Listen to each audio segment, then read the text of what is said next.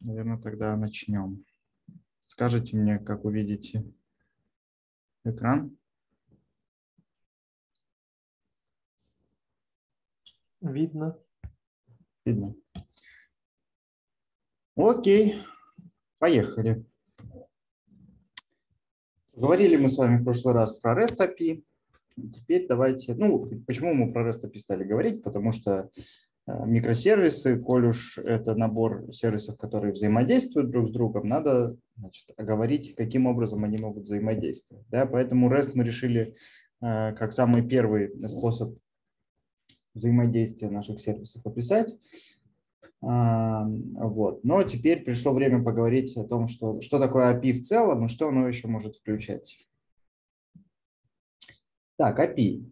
Понятно, что Application Programming Interface, да, расшифровка.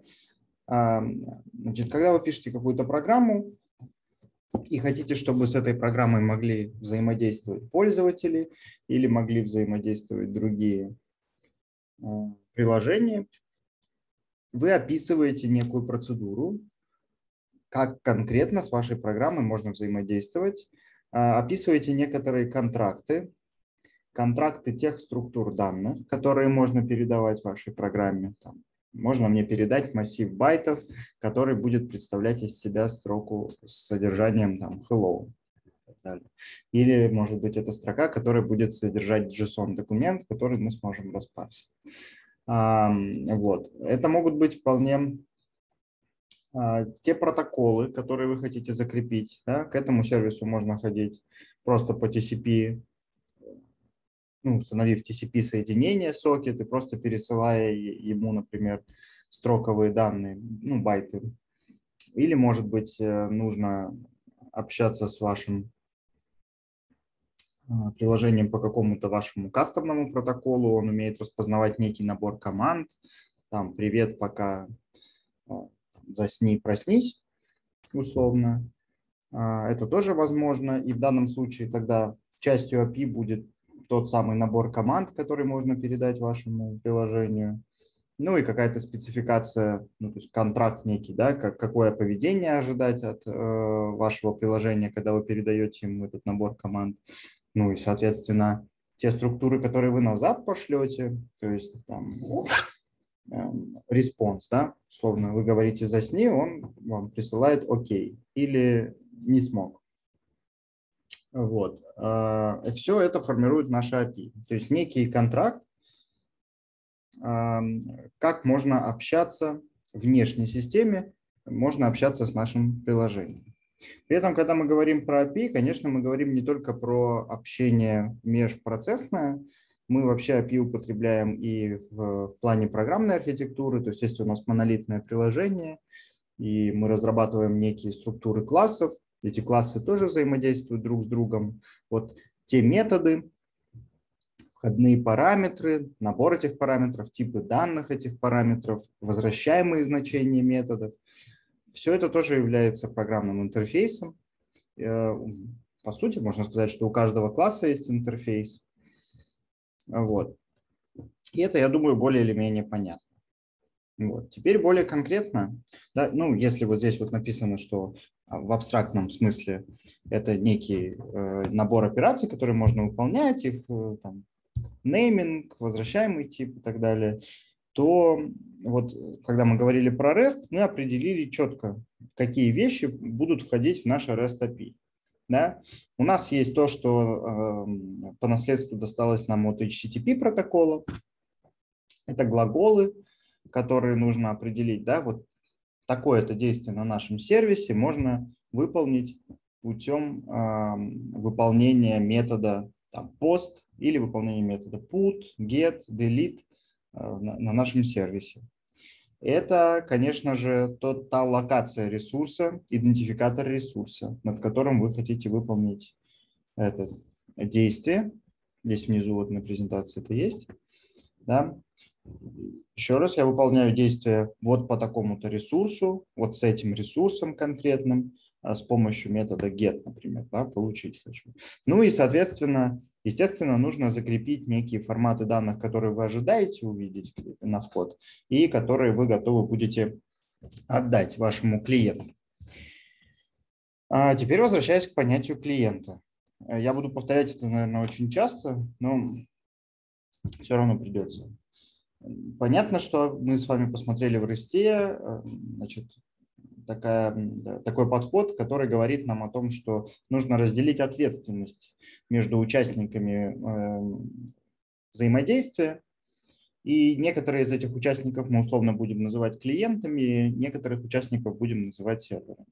И есть некоторые обязанности, да, вот в частности, клиент, каждый из клиентов, который может соединяться с сервером, с нашим, например, сервером, он должен сам сохранять внутри себя а, содержать state приложения своего, да, и быть ответственным за это, э, за state этого приложения, а сервер, да, не очень бы нам хотелось, чтобы он был ответственен за сохранение и менеджинг стейта каждого из своих клиентов. Да? Сервис – это сервер, это некая штука, которая умеет отвечать на типовые запросы, а, при этом не, не погружаясь сильно в контекст того, что происходит на каждом конкретном клиенте, да, на какой конкретной страничке сейчас у вас находится пользователь. Но типы клиентов, тем не менее, бывают разными. И вот когда мы говорим про микросервисы, каждый из наших сервисов, микросервисов, может являться сервером, который будет ждать э, в вечном цикле обрабатывать запросы, и при этом для выполнения каждого из этих запросов он может являться и клиентом, в свою очередь, для другого сервиса. Это очень-очень важно понимать. А, в одном микросервисе нашем может сочетаться как клиентская часть, так и серверная. Распознать их довольно легко. Клиент обычно инициирует запросы. Клиент обычно является консюмером API, э, как это сказать, он использует чье-то API, а, использует чей-то набор вот этих абстрактных операций, которые ему разрешают использовать, и получает там данные или просит что-то сделать. Ну, а, соответственно, сервер, он просто ждет и реактивно реагирует да, по мере прихождения, прихождения привода нового запроса, он его обрабатывает, возвращает результат. Окей. А, значит, Хорошо, вы начинаете писать свои микросервисы, начинаете разрабатывать потихоньку API. Пусть это будет наша REST API, выраженная в виде глаголов, URI и структур данных.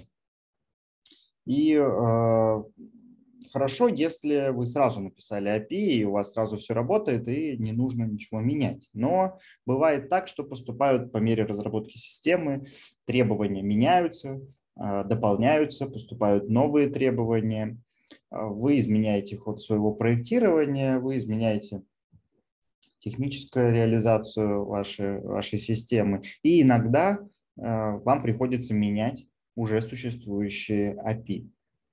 И тут э,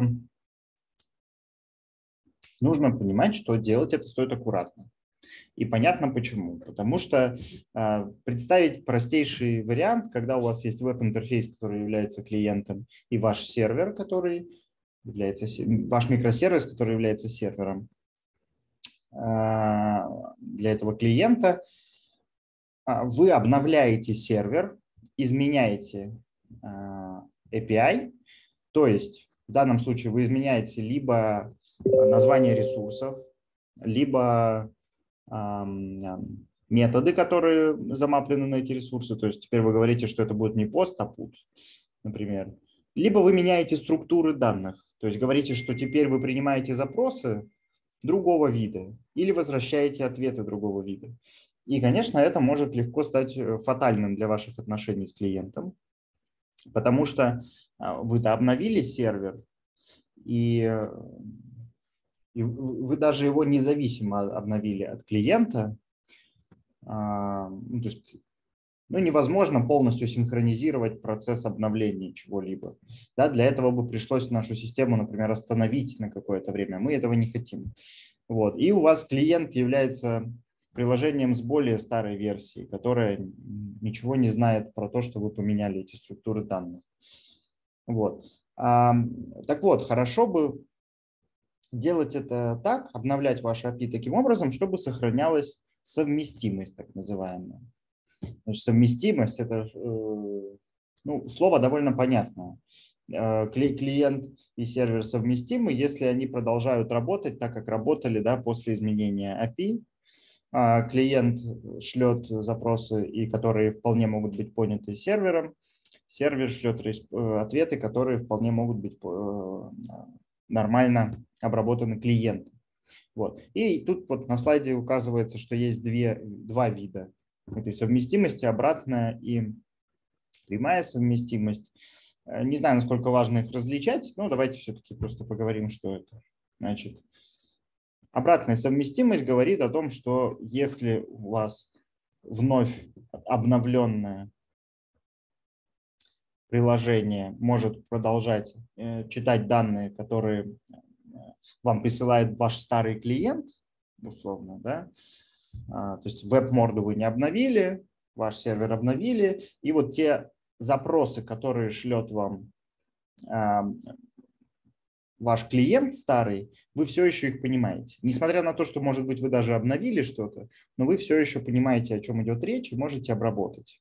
Значит, ну и прямая совместимость примерно обратная штука, что тот самый старый клиент, который у нас есть, старое веб-приложение, он прекрасно понимает те респонсы, те, да, те, тот ответ, который ему наш новый обновленный сервер отдает, даже если существуют какие-то, э, были какие-то изменения в API.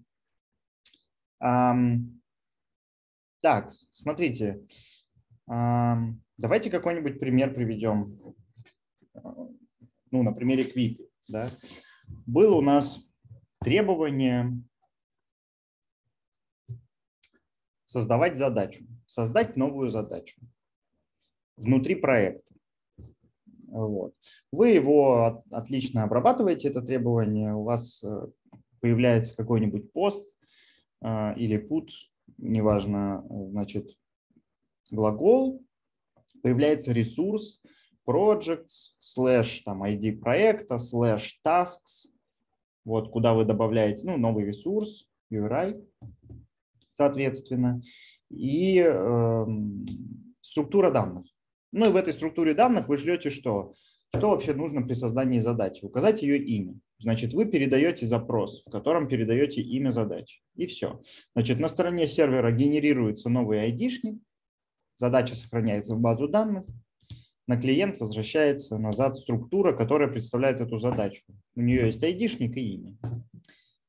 А теперь нас э, пользователь, ну, не пользователь, а заказчик просит еще как-то более сложное что-то создавать, например, создавать задачу, в которой сразу указывать еще всех ее исполнителей. Вот скажите, как вам это изменение? Как вы будете его делать?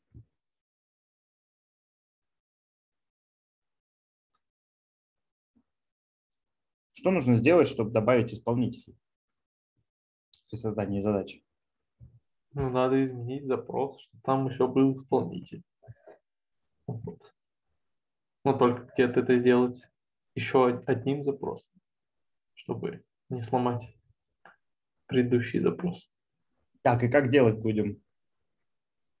Но, но возможно, новый домен ну, ну, вот, добавить с отдельной функцией. Новый прям домен, в смысле новый ресурс? Да-да-да, в новый ресурс. Ну, давайте там э, создаем task slash task ID slash э, members или там assignees. Э, и получается, что теперь нам нужно что, выполнить два запроса? То есть один создает задачу, а второй добавляет в нее мемберов.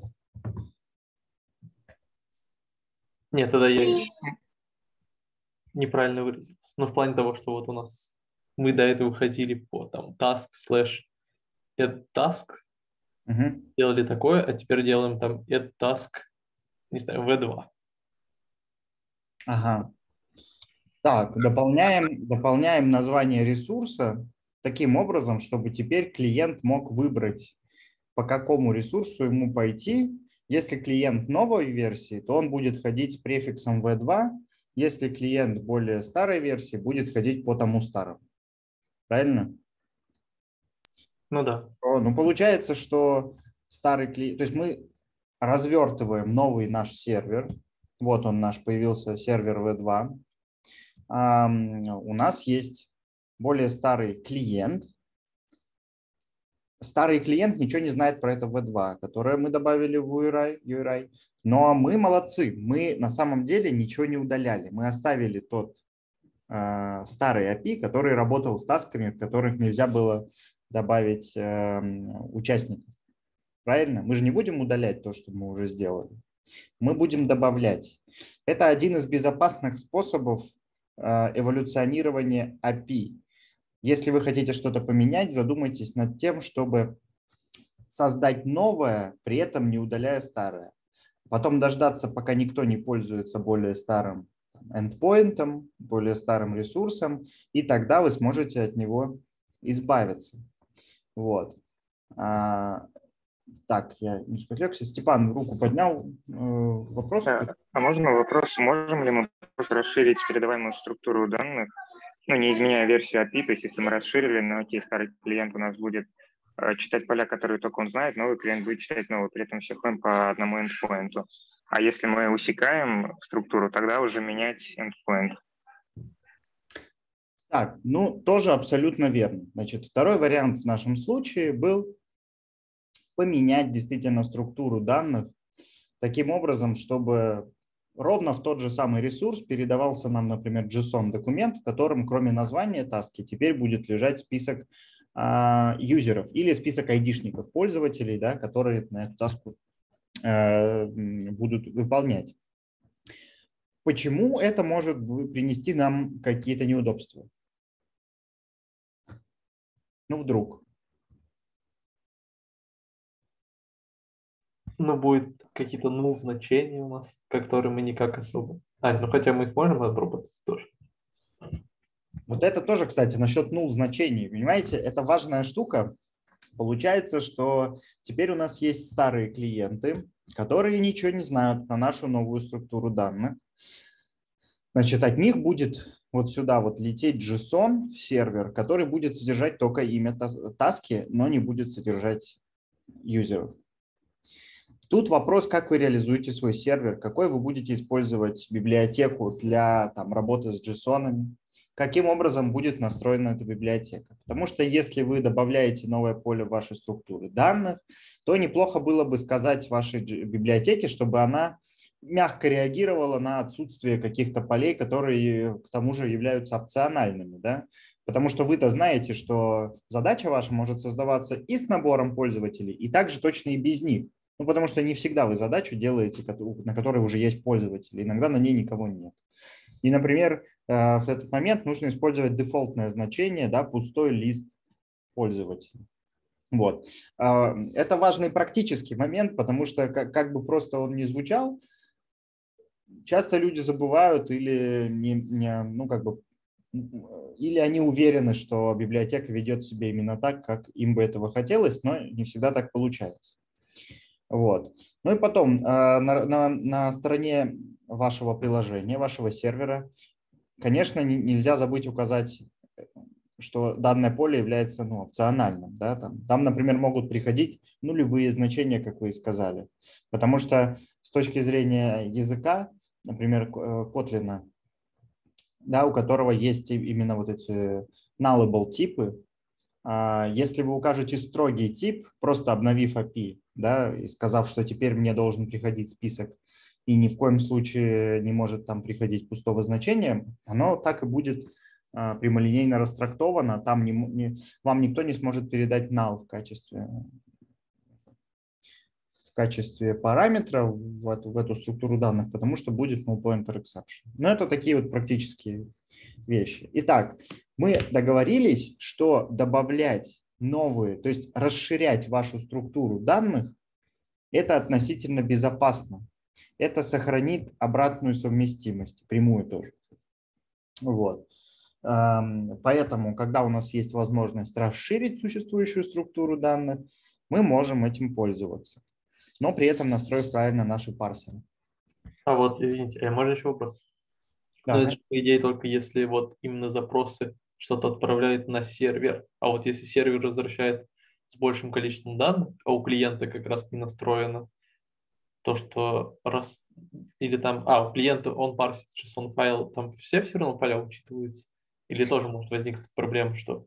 Может, но просто э, хорошо было бы всю вашу среду настроить таким образом, чтобы она соответствовала вот данному утверждению внизу. Да? Это, вот, это предложение из э, спецификации TCP протокола, э, но оно очень подходит к API.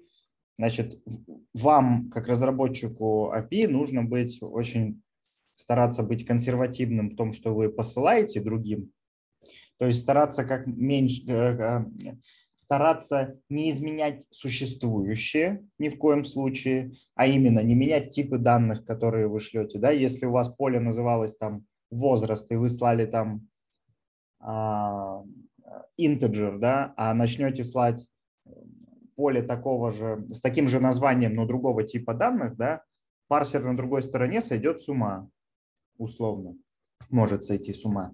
Вот, поэтому в том, что вы отсылаете другим, вы должны придерживаться консерватизма, по возможности только расширяя опциональными полями, опциональными какими-то вещами ваши структуры. А вот в том, что вы принимаете от других, вы должны быть очень либеральны. Если вы принимаете какую-то структуру данных, то вы должны брать из нее и требовать, чтобы в ней были только те поля, которые вам абсолютно необходимы для работы. А, но там условно вам приходит какой-нибудь ивент, ну, сообщение через кавку о том, что создался заказ. И в этом сообщении указываются все детали заказа, которые поменялись, который, который создался, да, все абсолютно время, там участники, цена, айтемы, все, все, все, все, все. Но вам как сервису нотификации, например, важно только э, то, в какое время был создан заказ, чтобы в имейле это описать. Вот вы должны быть очень либеральными и требовать наличия только тех полей, эм, которые вам нужны. Вот. А, я ответил на вопрос? Да. Да. Таким образом, примерно э, понятно, что мы пытаемся, что это э, там, касается ли это э, структур данных, касается ли это там, идентификаторов ресурсов и так далее, и так далее, мы стараемся и никогда, точнее, даже не то, что стараемся, а не удаляем существующие, не изменяем названия текущие. Если есть необходимость поменять некую семантику, которая лежит за данным, там, структурой данных, то давайте ее расширим и добавим в нее дополнительные какие-то параметры, которые, на основе которых обновленные сервисы смогут э, вычислить там необходимые им вещи и так далее. Такие изменения будут обратно совместимы. Вот, ну и прямо совместимыми тоже. Эм, да.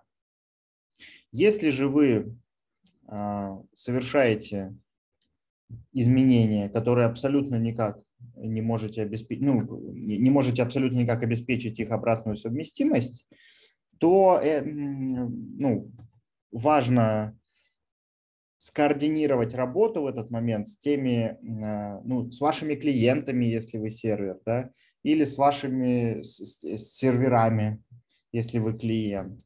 То есть, если вы условно разрабатываете микросервисную систему, у вас разные команды э, разрабатывают разные микросервисы, и вы абсолютно уверены, что вы без вот этих ломающих, так называемых, изменений не сможете, спешитесь с ними, обсудите эту ситуацию, попробуйте скоординировать ваши действия при развертывании новой версии вашего сервиса.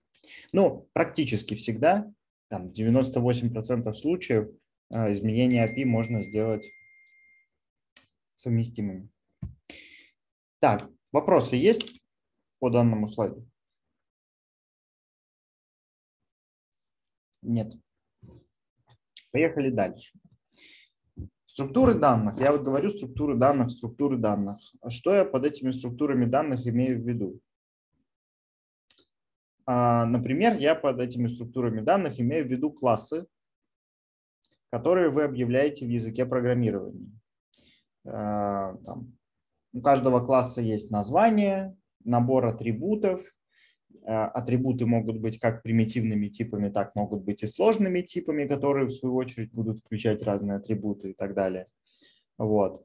И все это может формировать такую, такую модель вложенных сущностей, такое дерево, дерево подложенных объектов. Да?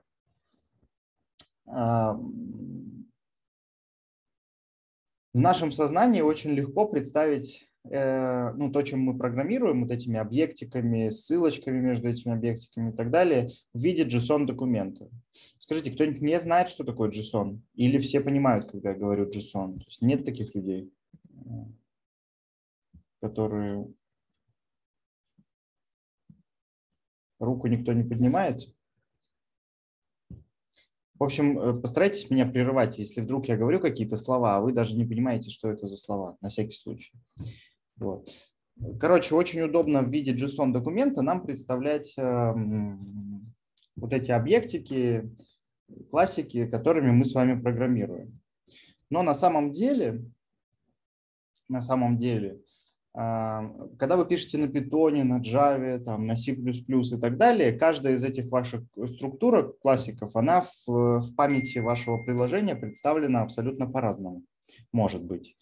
Вот. Лежать там байты могут, быть, могут в разном порядке, типы данных даже да, по количеству байтов не совпадать друг с другом и так далее. То есть, условно, один и тот же класс по своей сути, по своей структуре в C++ и в Java может иметь разное количество байтов в представлении, вот, ну и не, не совпадать. Да? Поэтому, поэтому вам каким-то образом хотелось бы научить разные языки программирования и программы на разных языках программирования, тем не менее, понимать друг друга когда вы пересылаете что-то по сети. Вот если вы начнете пересылать объекты Java по сети, то вас не смогут понять э, там, приложение на питоне и так далее. Поэтому родились некоторые, ну, сначала, когда люди еще не особо думали о том, что программы могут быть сильно написаны на разных языках, а, родились некоторые технологии, которые специфичны для языка. Например, мы можем представить Э, с помощью там, библиотеки джавовской, объект, любой объект в Java, как, на, как последовательность байтов, запихать их в TCP-соединение, с другой стороны прочитать этот набор байтов и получить тот же самый объект в памяти у другой программы на Java. Вот. А, потом люди дошли до того, что значит, все-таки на разных языках могут быть написаны программы, и поэтому решили создать некие более general purpose такие какие-то модели, э, которые можно передавать, вот превратить в байты, эм, объект в Java превратить в байты, послать по сети, а с другой стороны превратить эти же самые байты в объект в Python. Да? И один из этих э, вариантов, да, довольно простая модель, еще раз говорю, JSON да, можно превратить наш, эм, наш объектик памяти просто в JSON, он будет вполне себе читаемый человеком, да, то есть вы сможете еще и перед отправкой посмотреть или там потраблшутить в каких-то случаях увидеть, что у вас объектик правильно передался, у него название там полей передались и так далее, и так далее. Вот. Ну и, соответственно, если у вас и, там, и там используется одна и та же библиотека для превращения объектов в JSON и из JSON в объекты назад, то у вас все совпадет 100%. Там, ну, почти 100. Вот, и вот этот объект превращения из э, представления специфичного для языка в э, байты называется энкодинг. Не обязательно энкодинг, э, также могут использоваться такие слова, как сериализация или маршалинг. Это все, в принципе, а, одно и то же. Encoding, serialization, маршалинг.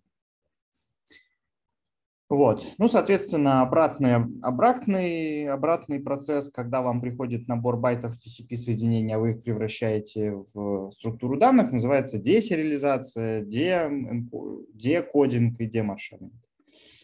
Вот. Хорошо. А, кроме JSON есть еще целая э, уйма различных средств, как, э, как вы можете превратить э, объект из памяти в массив байтов и передать его по сети, потом там на другом стороне с ним поработать. А кто-нибудь может мне сказать, в чем плюсы JSON для передачи эм, да, по сети и в чем его минусы?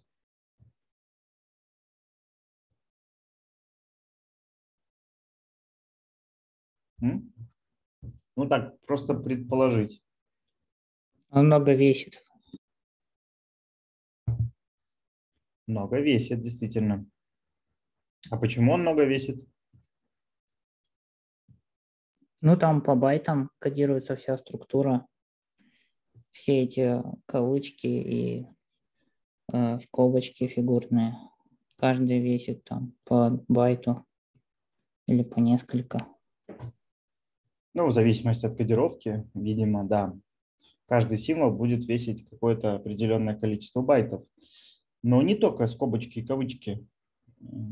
Еще какие-нибудь есть данные, которые мы, например, передаем, а могли бы не передавать.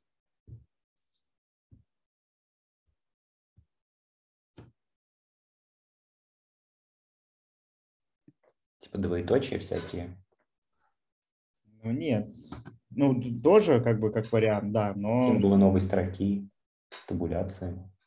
А, ну, хорошо, давайте назовем их спецсимволами. Вот кроме спецсимволов. Вспомните, как JSON выглядит?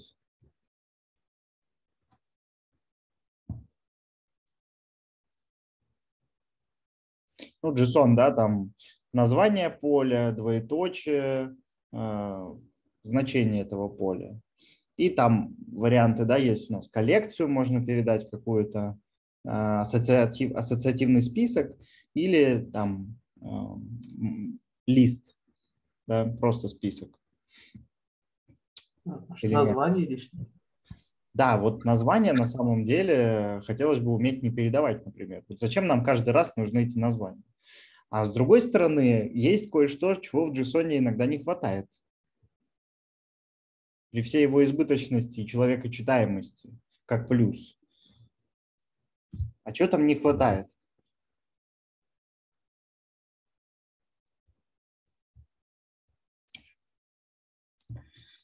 Ну вот давайте так, общелогически. Приходит вам JSON. Вы как его будете превращать в объект? Парсить каждый раз. Ну, парсить. А вот э, если бы вы глазами парсили, да, то как бы вы сопоставили там, как-то с полями это все?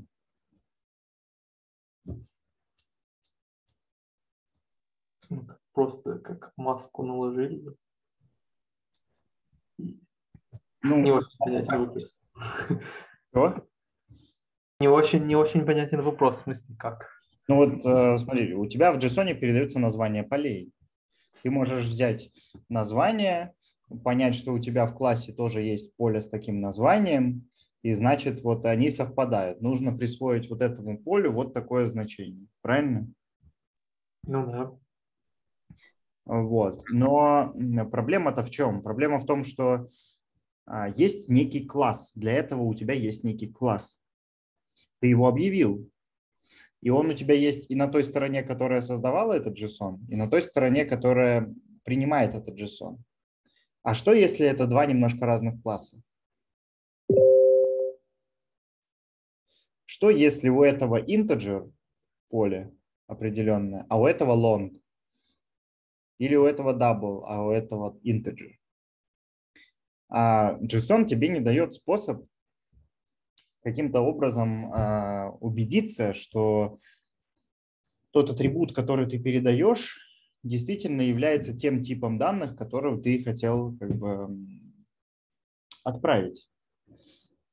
Э, он не поддерживает наличие, ну здесь это названо вот схема, да, отсутствие схемы JSON. То есть отсутствие некой структуры жесткой, которая связывает определенное поле с определенным типом данных. Вот. А, а мы бы хотели, например, описать некую схему, сказать, что так, в этой версии у нас вот этот объект соответствует а, вот такому JSON. И, соответственно, когда вы, его получите, возьмите такую-то версию нашего там, протокола и посмотрите, какой у нас был объект. И вот такие же поля, да, где integer, там integer, где long, там long. Ну и по именам, естественно, тоже. Вот. Но вот суть-то в том, что в JSON нельзя передать типы данных. Ну так в Swagger же описана схема данных. А, в Swagger описана схема данных, если вы ее, видимо, явно каким-то образом укажете. То есть Swagger, скорее всего, как может действовать? Он может взять структуру, которая приходит ему на вход, ну, бади, да, которая выражена в виде вашего а, класса в языке программирования. Потом посмотрит, какие типы данных используются у этого класса, и может каким-то образом вам об этом визуализировать. Но э, заставить, как бы так, заинфорсить немножко, зафорсить, точнее, JSON передавать правильные данные, там, сериализовать именно так, как вы сказали, это может быть немного сложно. Ну, то есть Эм, это как вот разница в compile time проверке в языке программирования и runtime проверки. Да. Вот если вы что-то, эм, если вы компилируете программу, и она скомпилировалась, вы ее пускаете в продакшн, а там вылетает null pointer exception да, в рантайме, это не очень хорошо. А вот приятнее гораздо, если бы вы уже во время компиляции могли бы понять, что потенциально у вас вот в этом месте может быть null pointer exception, и вам бы не дали скомпилировать эту программу. Да? Это, ну, на самом деле, вот то, что Kotlin с nullable типами делает, он вам просто говорит, что если вы поставили вопросик рядом с, с этим типом данных, то теперь будьте добры везде обрабатывать потенциальный null. Вот. А если не поставили, то тогда это ну, здесь и не может быть его в любом случае. А в Java как бы вот э, вы можете написать переменную, вас никто не заставит ее проверить на null, вот, но при этом вы берете на себя ответственность в том, что в рантайме а, вы не словите этот самый null pointer exception. Вот.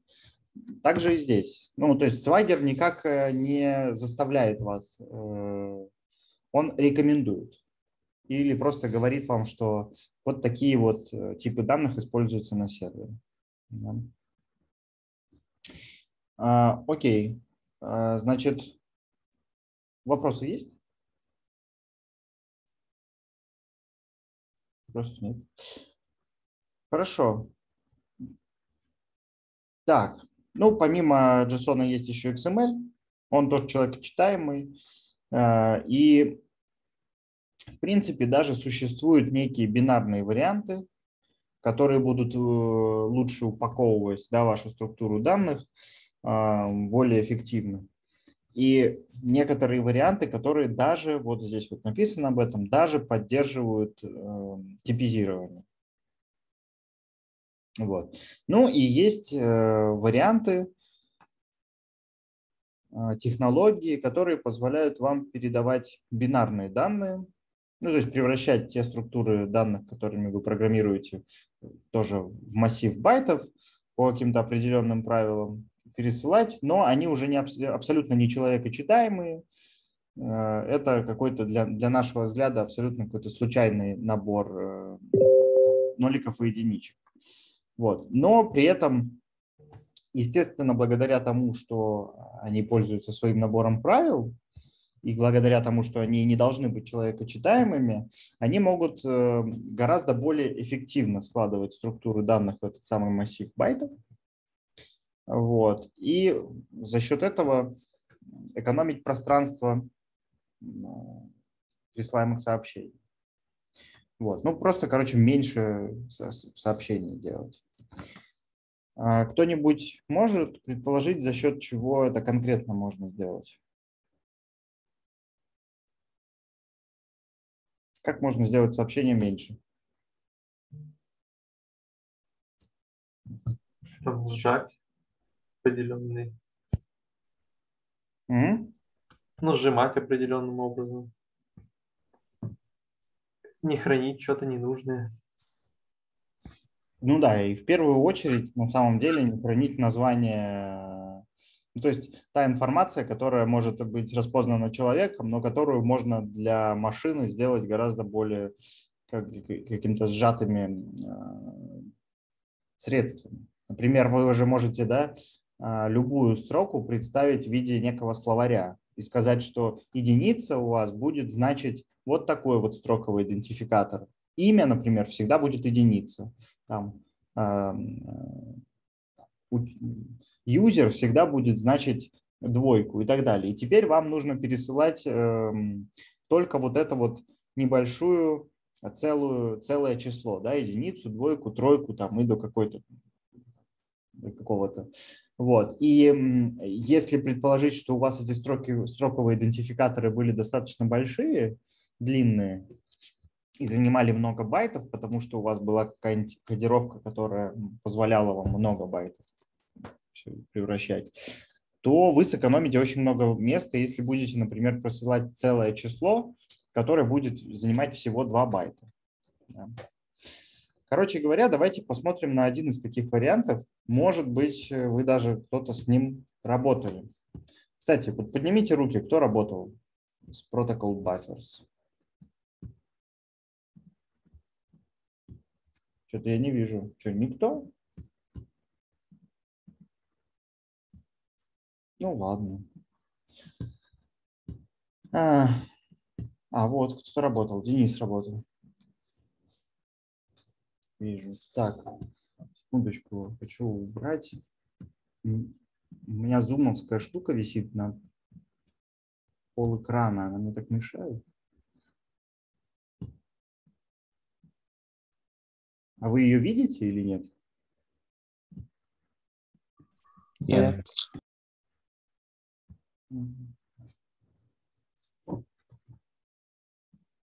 О, я спряталась. Анастасия что-то спросить хотела или про протокол Buffers пользовалась? Нет, это так вопросы про работу. Я просто не могла никак найти кнопку, поднять руку. Э, э, к вопросу про что? А, про то, кто работает. А, все, понял. А вы, э, вот Денис и Анастасия, для чего пользуетесь протокол Buffers? У вас сервисы друг другу присылают его или там, не знаю, клиент, клиенты ваши веб присылают вам на, на бэкэнд протокол Buffers?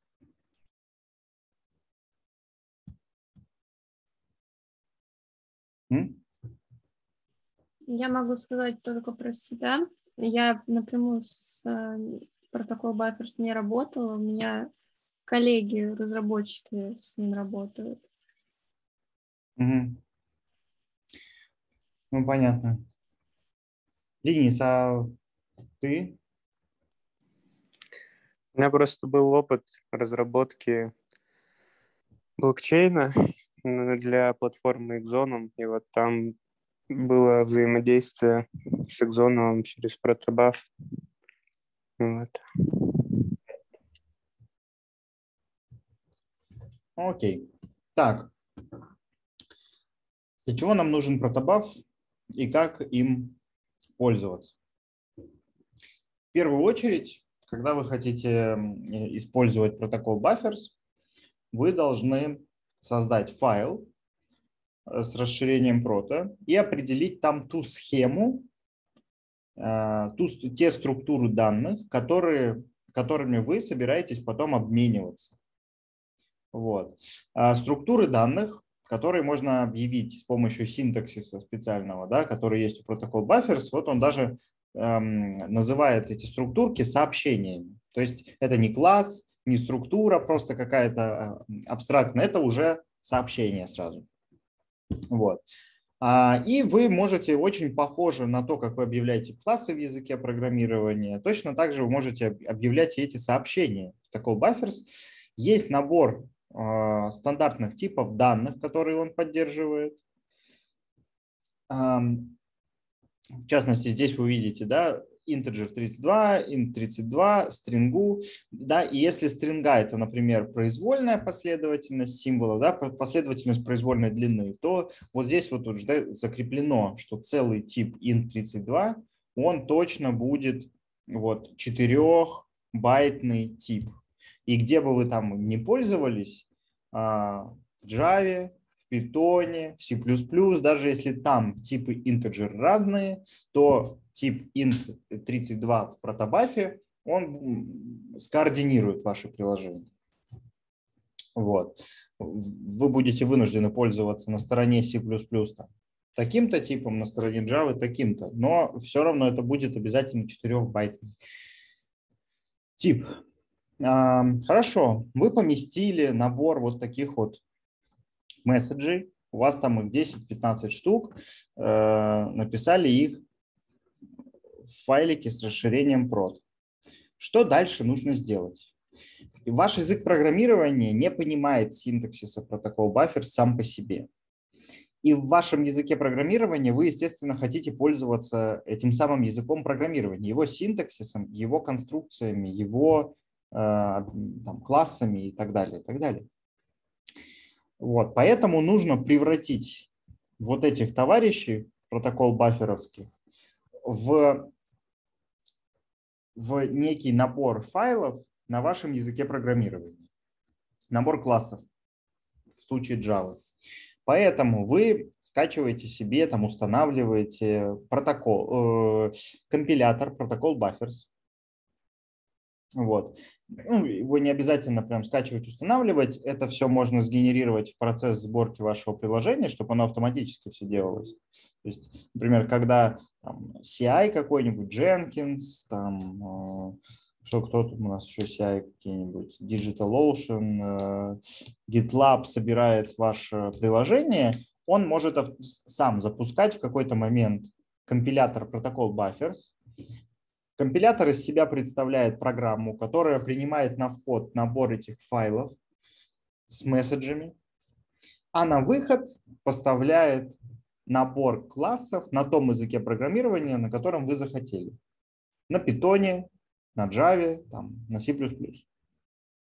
Вот. То есть представим еще раз э, такую ситуацию. У вас есть система из трех микросервисов. C++, питоновская и Java приложений. Вам нужно научить их общаться. Вы заводите некий общий пул э, сообщений, которыми хотите обмениваться. Может быть, это отдельный репозиторий будет даже, да, с кодом. Вы туда помещаете эти файлики, которыми хотят обмениваться ваше питоновское, плюс-плюсное и джавское приложение. Вы настраиваете систему сборки на то, чтобы она запускала компилятор протокол Buffers и делала вам из вот этого файла сообщение три разных варианта для трех разных языков программирования.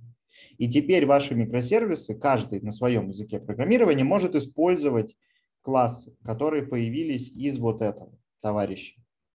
И вы можете быть уверены, что то, чем пользуется крестовое приложение, будет абсолютно соответствовать тому, что использует джавовская. Вот. А, дальше. Извините, а можно вот вопрос? То есть это просто он скопилит, и у нас, например, на выходе будет там заголовок для питона, где просто будет дата-структура особая, или как? А для питона это там класс, ну, дата-класс, тоже с определенными полями. Или что у него на выходе? А, да, вот сейчас как раз перехожу на то, что это за набор классов. Set of Language Specific Structures у меня тут названо.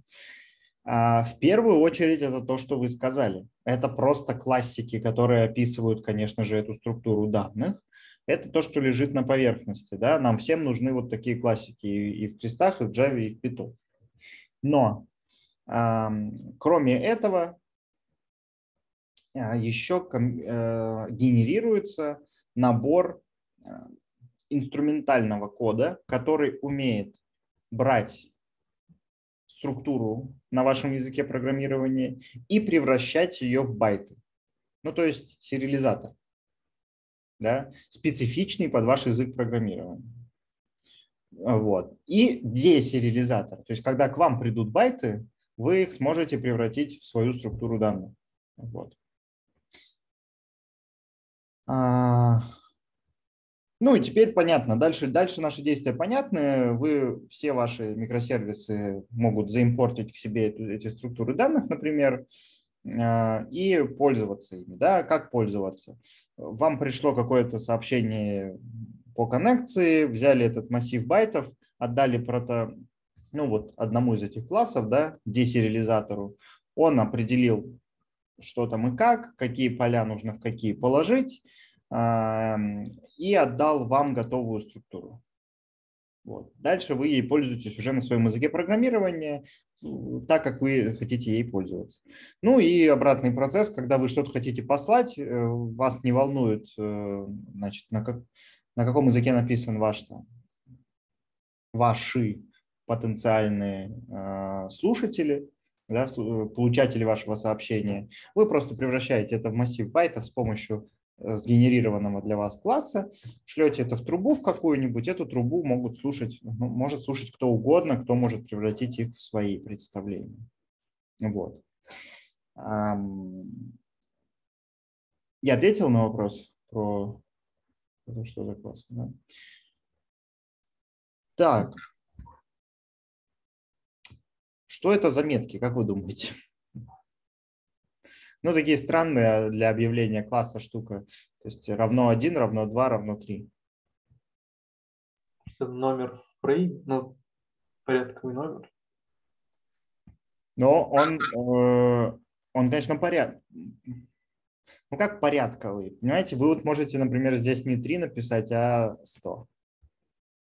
Ну, просто как айдишник. Ну, по сути, да. По сути, это вы с определенным значит, текстовым вот этим строковым идентификатором вашего поля как раз-таки сопоставляете целое некое число, а, которое теперь вот, вот сгенеренным вот этим кодом, да, когда вы будете превращать ваше предло... сообщение в массив байтов, вы можете в этот массив байтов вставить троечку вместо того, чтобы вставлять вот сюда вот это вот длинное, а, длинный этот идентификатор. Вот. А, ну и кроме того, а, кроме того, давайте на следующий перейдем. Да, вот видите, да, каждый филд у нас имеет уникальный number.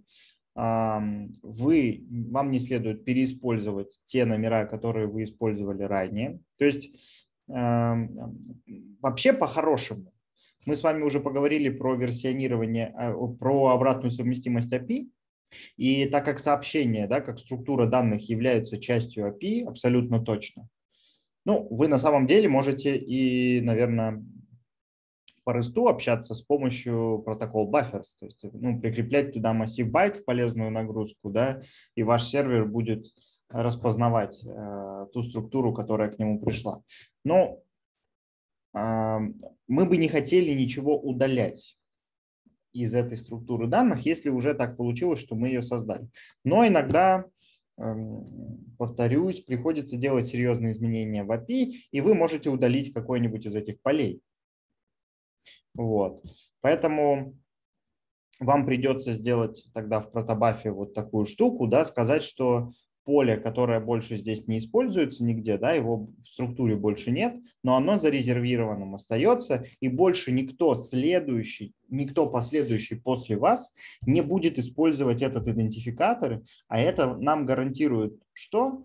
Что э, совместимость между клиентом и сервером сохранится, что никто не попробует э, распарсить, взять это целое число и распарсить в него неправильное поле, которое да, уже совсем другого типа данных в этой версии. А, вот. Ну и да, тут тоже написано то, что я уже сказал. Мы просто будем теперь по сети посылать, ну, в сообщение вставлять всего лишь вот это целое число, вместо того, чтобы вставлять туда целое здоровое название переменной поля. Вот. Эм, так, что еще полезного есть протокол Buffers? Есть вот такие штуки, модификаторы своеобразные. Вы можете отметить поле как абсолютно необходимое. Вы можете отметить его как опциональное. Вот, например, когда вы новое поле добавляете, вы, скорее всего, вынуждены будете отметить его как опциональное поле, потому что в предыдущей версии да, вашего API такого поля не было. Поэтому какие-то парсеры могут не справиться с ним. Они а, возьмут структуру и не будут ожидать там обязательного поля.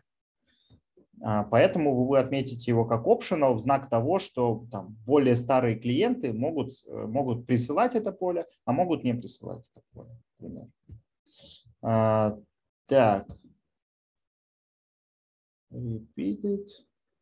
А, ну и э, как можно посылать лист, да, условно. Лист чего-то можно сконструировать в протобафере с помощью эм, модификатора repeated. То есть какое-то поле, повторенное сколько-то раз, это и есть коллекция, в принципе. Вот. Ну и более сложные какие-то вещи тоже можно делать. Э, например, составлять э, комплексные, такие комплексные сообщения, э, вкладывая одно в другое, выставлять некие дефолтные значения, создавать даже енамы. Вот. Эм, мапы. Где-то был пример с мапами, я сейчас его теперь уже не вижу. Мапы тоже можно делать. Вот. Ну и, э, конечно, можно да, импортировать из одного файла протобаф в другой файл протобаф, ну, то есть какие-то ссылочки на э, связанные друг с другом сообщения можно делать. Вот. Вот. Вопросы есть какие-нибудь? в данный момент.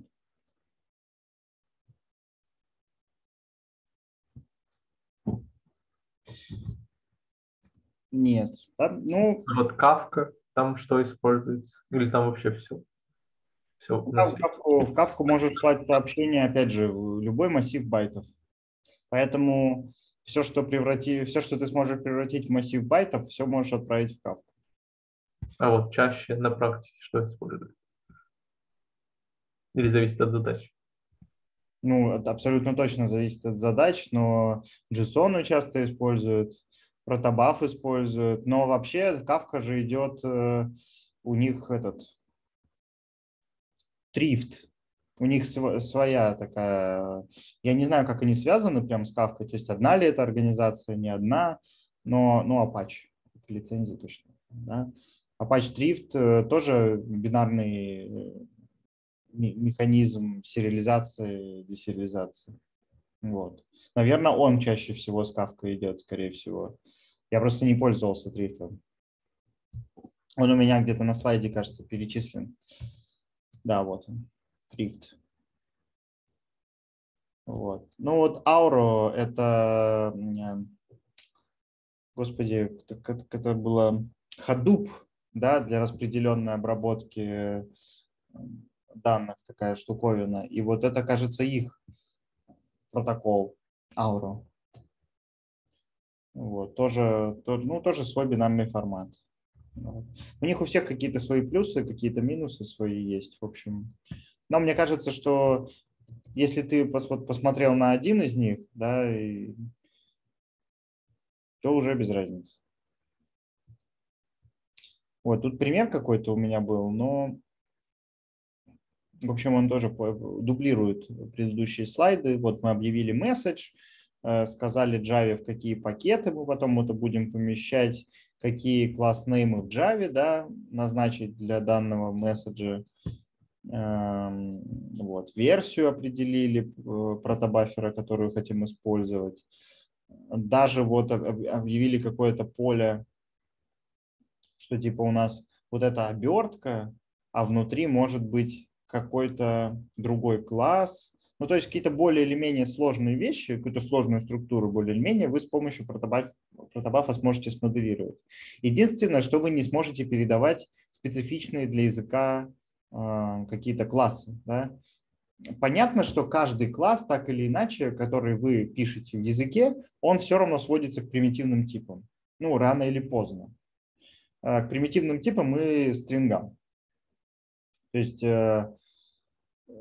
даже если у вас там в, в листах или в мапах лежат объекты, в этих объектах все равно лежат снова объекты и объекты, объекты, но вот листами всего этого дерева или графа все равно будут э, инты, лонги и стринги.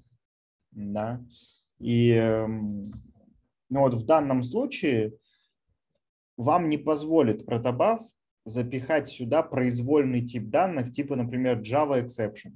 Э, там, э, что там, а, Java, Java Lang, да, там, exception. Потому что... Изображение, например, тоже? Изображение? Ну, изображение как-то в протобафе зачем передавать? Ну, нет, изображение, кстати, наверное, изображение уже и так массив байтов, в принципе. Э, не знаю даже, во что его еще можно обернуть. Но если нужно с метадатой какой-то передать, ну да, обернете его в, в этот какой-нибудь э, тоже json или, может быть, даже и в протокол buffers. Я думаю, получится. Только вот э, что-то меня смущает передача изображений как-то как сообщений.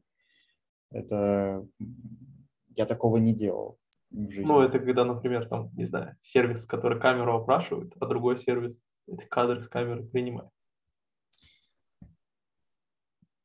А, ну это такая специфичная штука. Ну да. Ну да, ну да. Ну это, это то есть это кадры, кадры, кадры, кадры, кадры летят, да, просто постоянно. Ну, типа того, да. И что-то мне кажется, что вы тогда не будете Мне кажется, вы не будете тогда типа кавку использовать, а возьмете, откроете просто connection прямой и будете реалтаймом слать, причем даже не по TCP, а может быть даже по, там, по UDP, там, если вы трансляцию ведете, просто поток байтов, который соответствует значит, вашему передаваемому изображению. Вот. И, ну, потеряли, потеряли кадр, а если там не, не хотите ничего терять, ну, тогда да, по TCP тоже просто connection открываете и туда фигачите в него, а так быстрее будет. В кавку, все равно через кавку по, подольше. Ну да, понятно. Что, что дальше уже там делать с этим, с этим вашим стримом на сервере, это... Я просто никогда не занимался стриминговыми такими вещами. Но тоже сомневаюсь, что прямо через кавку пойдет, пойдет, короче. Хотя кто знает, может сейчас уже и через кавку все там шлют видосы. Но сомневаюсь. А, да, его еще сжимать, наверное, надо хорошо, этот поток. Его же наверняка можно сжать неплохо. То есть, ну вот, ладно в бок уходит. Да, ну и что из этого получается? Вот на Java, например, что может получиться? Ну, понятно, Java, как всегда, довольно многословно. Get ID, там, get order ID, get duration и так далее. Но, по сути, вот вам компилятор протокол э, buffers э, сделал такую оберточку, которой вы можете в Java пользоваться. Типа у ордера взять список деталей, постримиться по ним, что-то превратить их во что-то другое. Ну, вот, как-то так. И вроде бы даже вам кажется, что вы сами написали эти классики, они у вас где-то есть, а нет. Да, это вам просто их сгенерировали. Так, ну и пару слов, наверное. Пару слов, потому что мне кажется, что это для вас, в общем, не самая это критичная вещь. И в курсе мы ее нигде почти не используем, если вы сами этого не захотите, конечно.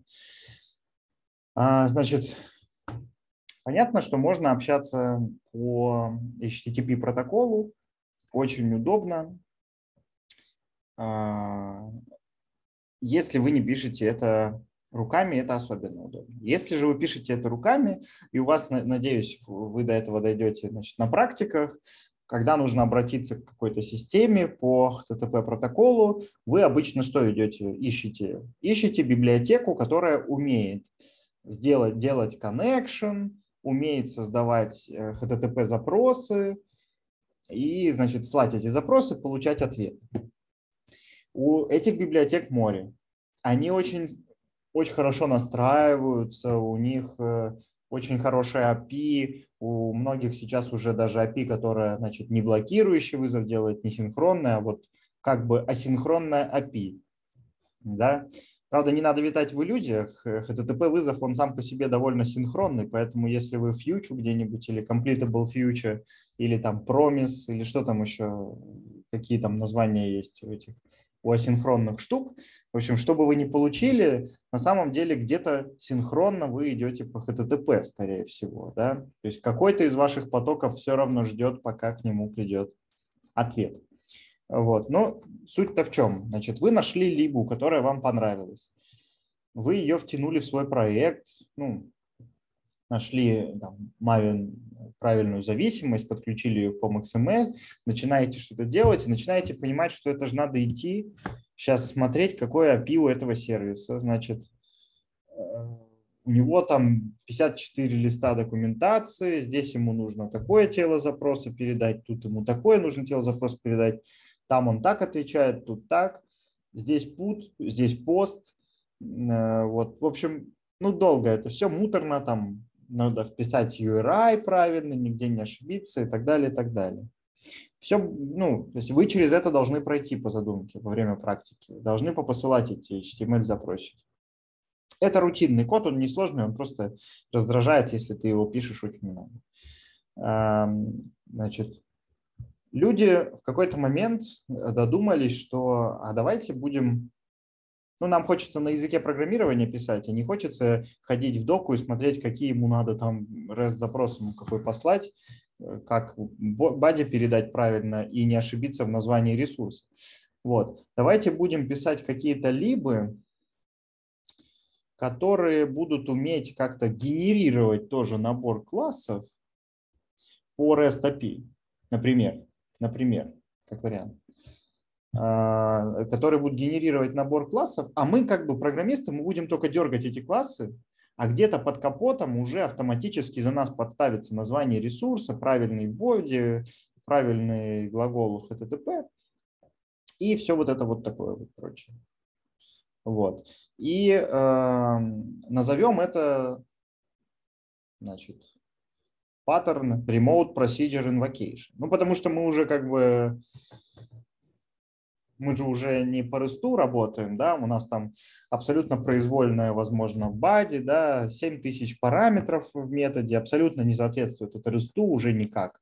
То есть мы там условно делаем там set статус, да, передаем статус заказа там такой-то.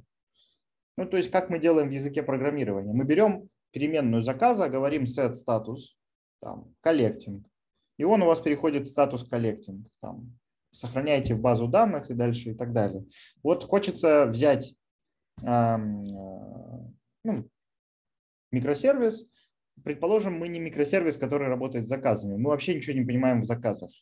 Но мы знаем, что нам нужно поменять у него статус. Очень надо. Ну, почему-то нам так захотелось.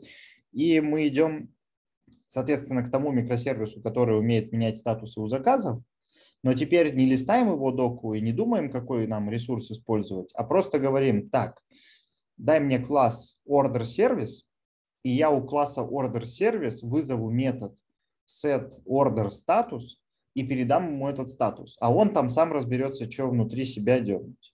И вы вот здесь вот, да, клиент на стороне себя какого-нибудь там сервис склада или там сервис оплаты. Дергаете как бы у вашего класса order service, который является в этот момент проксей, так называемый, ну или ну, API этой прокси, да, который знает, как себя повести, как пойти э, по, значит, по какому протоколу пойти, что передать, все такое прочее. Он формирует запрос, он его шлет, там с другой стороны его умеют обрабатывать, обрабатывают, он принимает ответ, может быть, этот ответ будет там огромный, ну, для вас не важно, вам нужно получить там true или false, и он превратит его вам в true или false, или, например, выкинет exception. Еще раз, многословно-многословно, просто по моему опыту почему-то э, у людей какая-то сложности вот с, с этой концепцией возникают.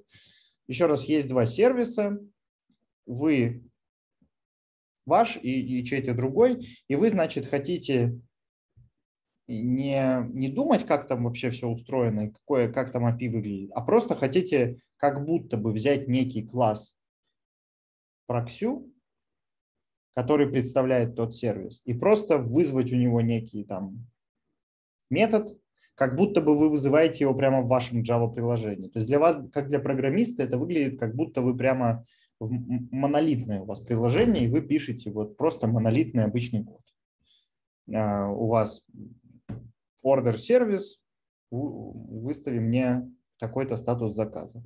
Но на самом деле под капотом происходит сетевое взаимодействие. Не обязательно по HTTP на самом деле. Тут так написано, ну и я так объяснил, что как бы это обязательно будет REST, там обязательно будет HTTP, точнее даже не REST. Вот, но не обязательно. Суть главное в том, что как будто бы локально, но не локально. В общем, извините за многословие. Есть ли вопросы сейчас? Нет вопросов, видимо. Э, самый популярный, самая популярная либо, которая реализует данный паттерн. Ну, наверное, я не знаю, их, наверное, тоже очень много. У меня вот ну, на работе вообще у нас своя библиотека, которая все это делает. То есть у нас нет такого понятия, как REST API или вот этих там, TTP глаголов, не глаголов. Все это от нас, как бы как от программистов, скрыто, и мы можем вызывать методы просто как будто бы у другого сервиса, на самом деле там летит TTP вызов. Сначала это всегда кажется очень хорошей идеей и очень упрощает жизнь. Ну вот сначала. А потом ты как бы вынужден залезть в это все внутрь, потому что ну, оно работает на простых случаях всегда, на сложных, наверное, общем, не работает местами. И чтобы кастомизировать как-то, да, какое-то свое поведение добавить определенное, ты вынужден лезть в это все внутрь, разбираться, как-то встраиваться. Дай бог, ваша библиотека позволит вам нормально в нее встроиться. Но вот gRPC вроде бы очень хорошая поделка, которую используют очень много и часто для общения вот в распределенных системах. А, она сама по себе основана на протокол buffer. Вот. Там э, нет понятия никаких, она никак не связана с HTTP с точки зрения своей терминологии. У нее нет понятия ресурса, нет понятия глагола, ничего, вы этим не управляете. Значит, когда вы э, работаете с gRPC, вы делаете что? Вы делаете протобаф файлы, потому что gRPC построен на протобафе. Только теперь, кроме структур данных, вы на этом же языке а еще и интерфейсы э, рассказываете. Типа, здравствуйте, я order сервис, у меня такое API. Я могу выставить статус заказа по его ID. Вот вы это все описываете в виде такого привычного достаточно интерфейса. Давайте, кстати, знаете что? Сейчас, секундочку. А можно как-нибудь это все свернуть? Ага. Давайте откроем сайт gRPC. О, я даже на него когда-то заходил. Пойдем в доки, например, и просто посмотрим на какой-нибудь пример. Ну, тут они рассказывают, например, как можно, а, опять же, определить структуру данных, но это то, что мы с вами уже про протобавку посмотрели, да? А вот теперь давайте посмотрим вот на такую штуку. Можно сделать интерфейс, да? А, сказать, что у меня, как у сервиса, будет вот такое API. Я буду уметь говорить удаленно, здесь видите, прямо RPC префикс используется, удаленно уметь э, получать hello реквесты и возвращать hello reply. Вот. И, значит, а, соответственно, вы здесь же можете определить, что такое hello request, hello reply. Вот. А, точно так же вы запустите потом некий компилятор, который ну или там даже так, сервер, да, gRPC сервер, который вам э, превратит данные структуры в нечто, что соответствует вашему языку программирования, и вы сможете написать обработчик, да, а что мне делать реально, мне как сервису, что мне сделать реально, когда придет мне вот такой вот hello request, да, как мне его обработать и как вернуть hello reply. И давайте, а тут ну, этого нет, да, но я думаю, где-нибудь мы сейчас с вами найдем, как это делается.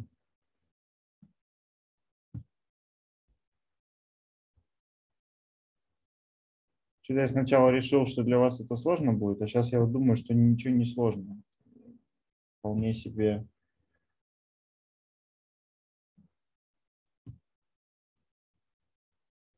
ТТТ, стриминг, это не то.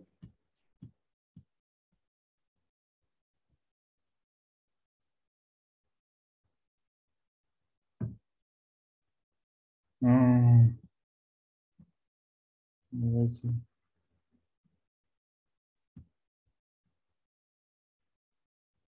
Generated code. А, нет, ну это API уж перебор прям.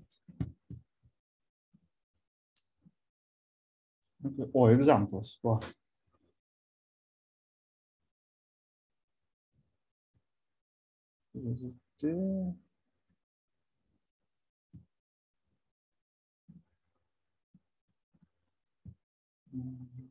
Клиент.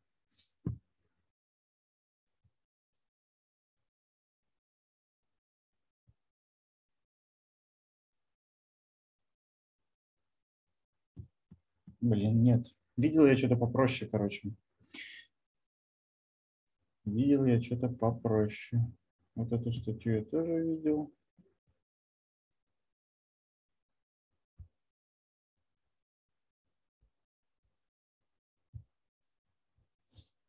Ну, в общем, извините, что-то я решил, что вам реализация как-то не, не нужна, и вот был неправ. Наверное, надо будет посмотреть потом на, на то, как это можно реализовать.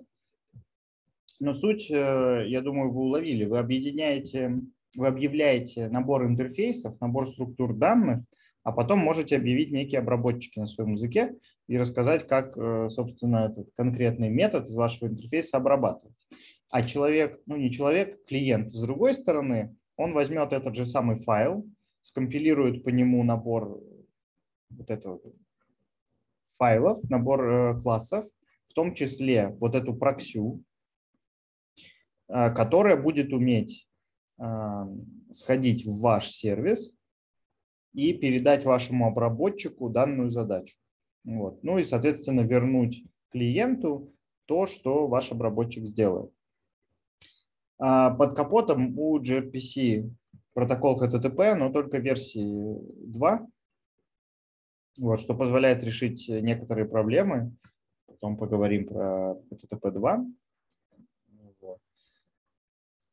Он там ну, быстрее достаточно сильно, там перформанс улучшен э, по сравнению с HTTP 1. Вот, и э, там нет, нет уже необходимости держать огромное количество сессий. Вот. А, так, ну, это общие слова, это я не хочу вам рассказывать. Все. Есть ли вопросы по gRPC или по протобафу?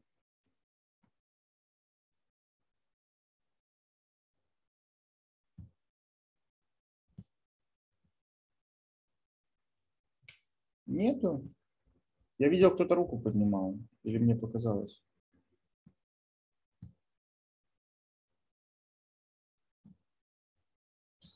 Ладно, так, если нет, то можно сделать перерыв небольшой, перейти на модели данных на следующую э, лекцию. Что думаете об этом? Перерыв нужен? Ну, давайте небольшой. Сколько? Минут 10 сделаем? Наверное.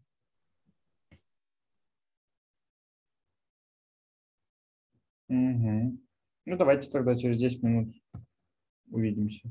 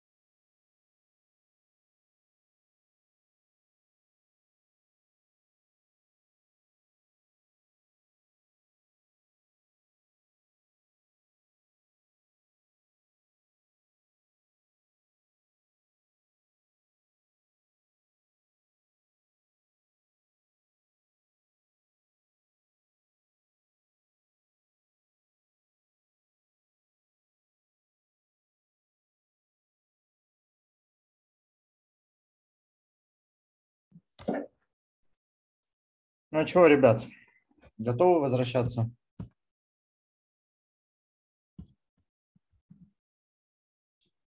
Да.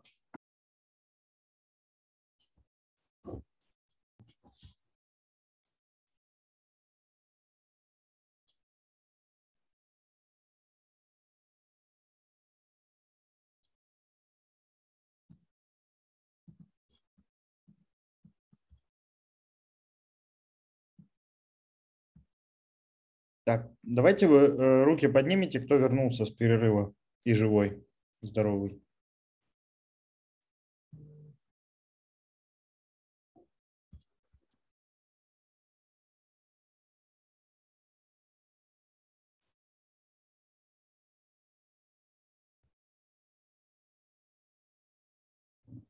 Значит, у нас получается половина. Ну ладно. А за что мы голосуем? А, отменить лекцию или нет оставшуюся? Ага.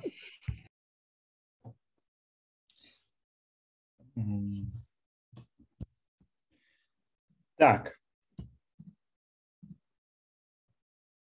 Ну, слава богу, у нас тут не демократия. И тут тоже. Так, так. Поехали. Поехали про... Так, запись включена, камера включена, все вроде похоже на правду. Про моделирование данных, про моделирование, архитек- про проектирование архитектуры данных. Вот. Немножко сначала про, про то, какие у нас есть вообще хранилища, какие у нас есть СУБД и зачем они у нас есть такие.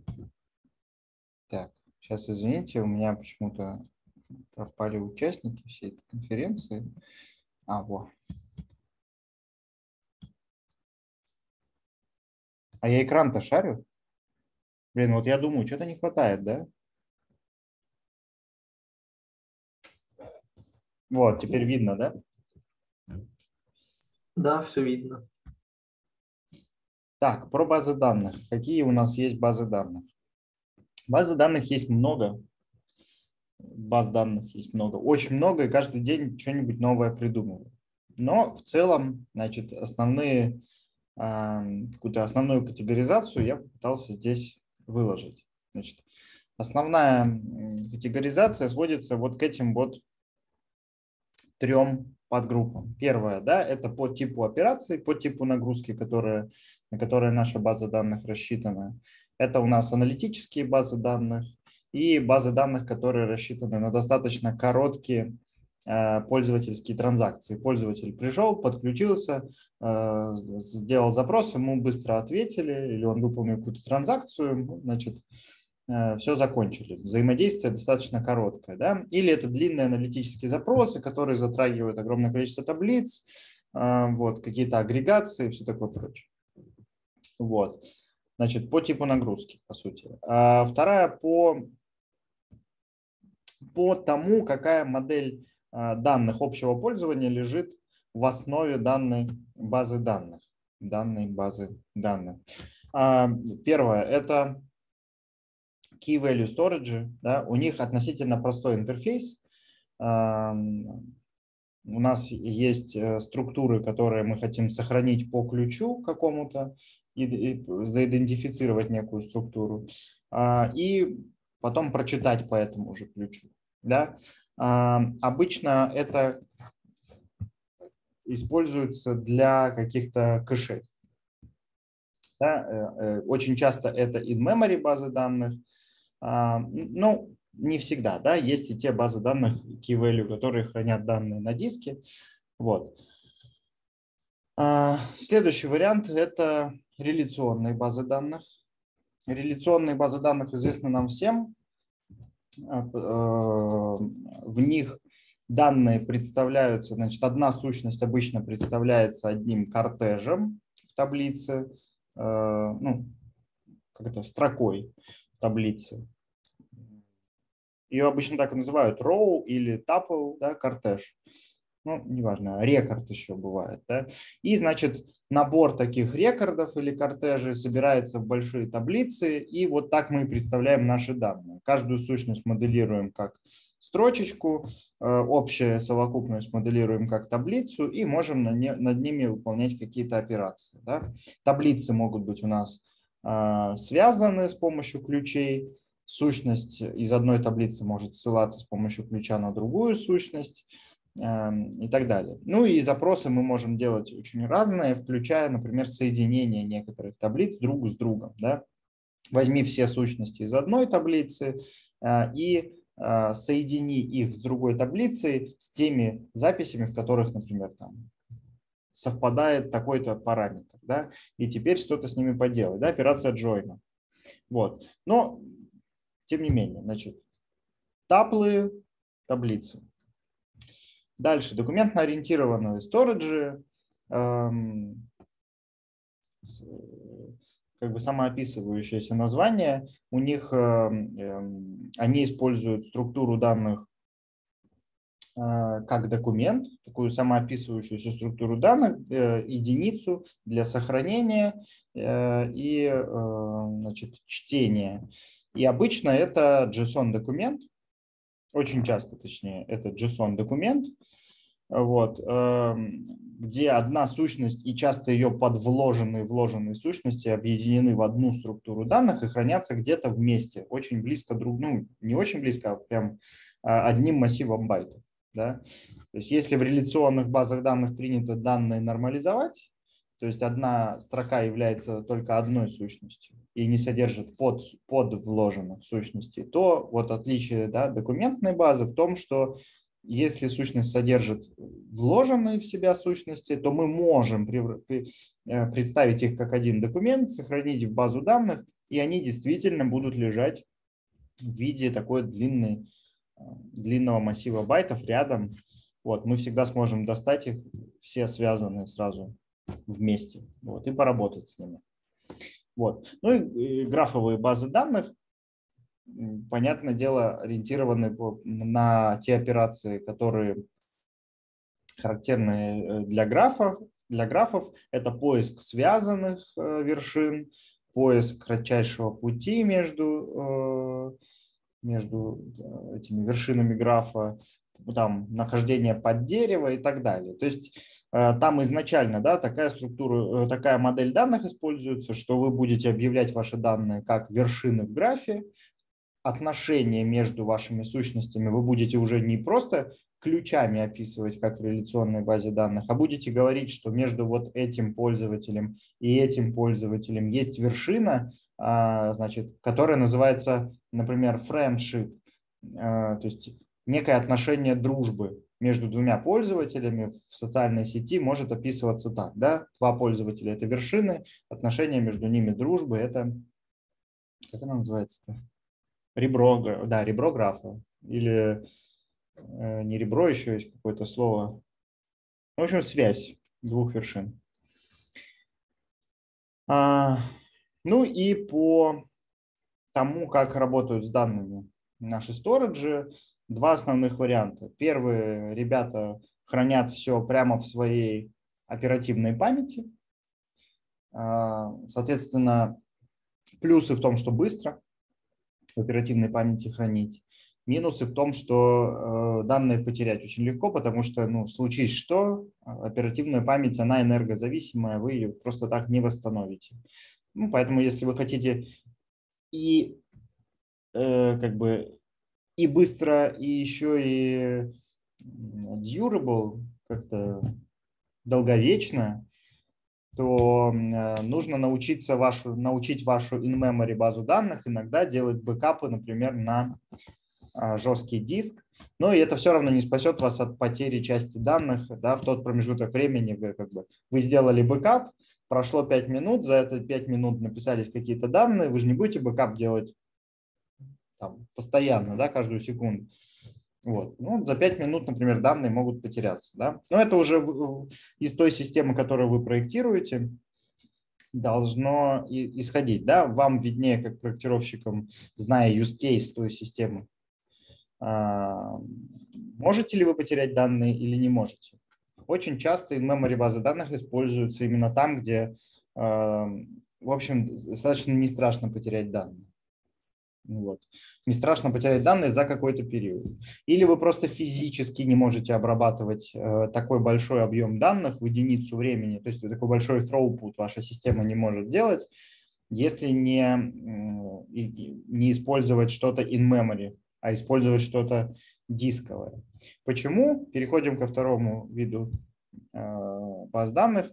Почему? Потому что дисковое требует обращения к жесткому диску, да, не обязательно к какому-то накопителю.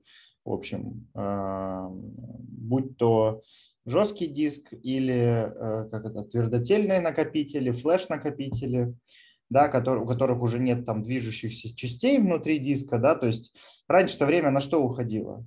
Сам жесткий диск, он такая, состоит из набора дисков э, металлических, которые друг по другом э, как бы вот так вот, как цилиндр расположены, и есть некое считывающее устройство, которое крутится э, и должно на, на правильное выбрать правильное местонахождение на этом диске, чтобы прочитать его вот так, по окружности, прочитать те данные, которые хранятся на этом диске. Так вот, э, каждое обращение к диску произвольное требует, чтобы вот эта считывающая головка, она там правильно заняла положение, и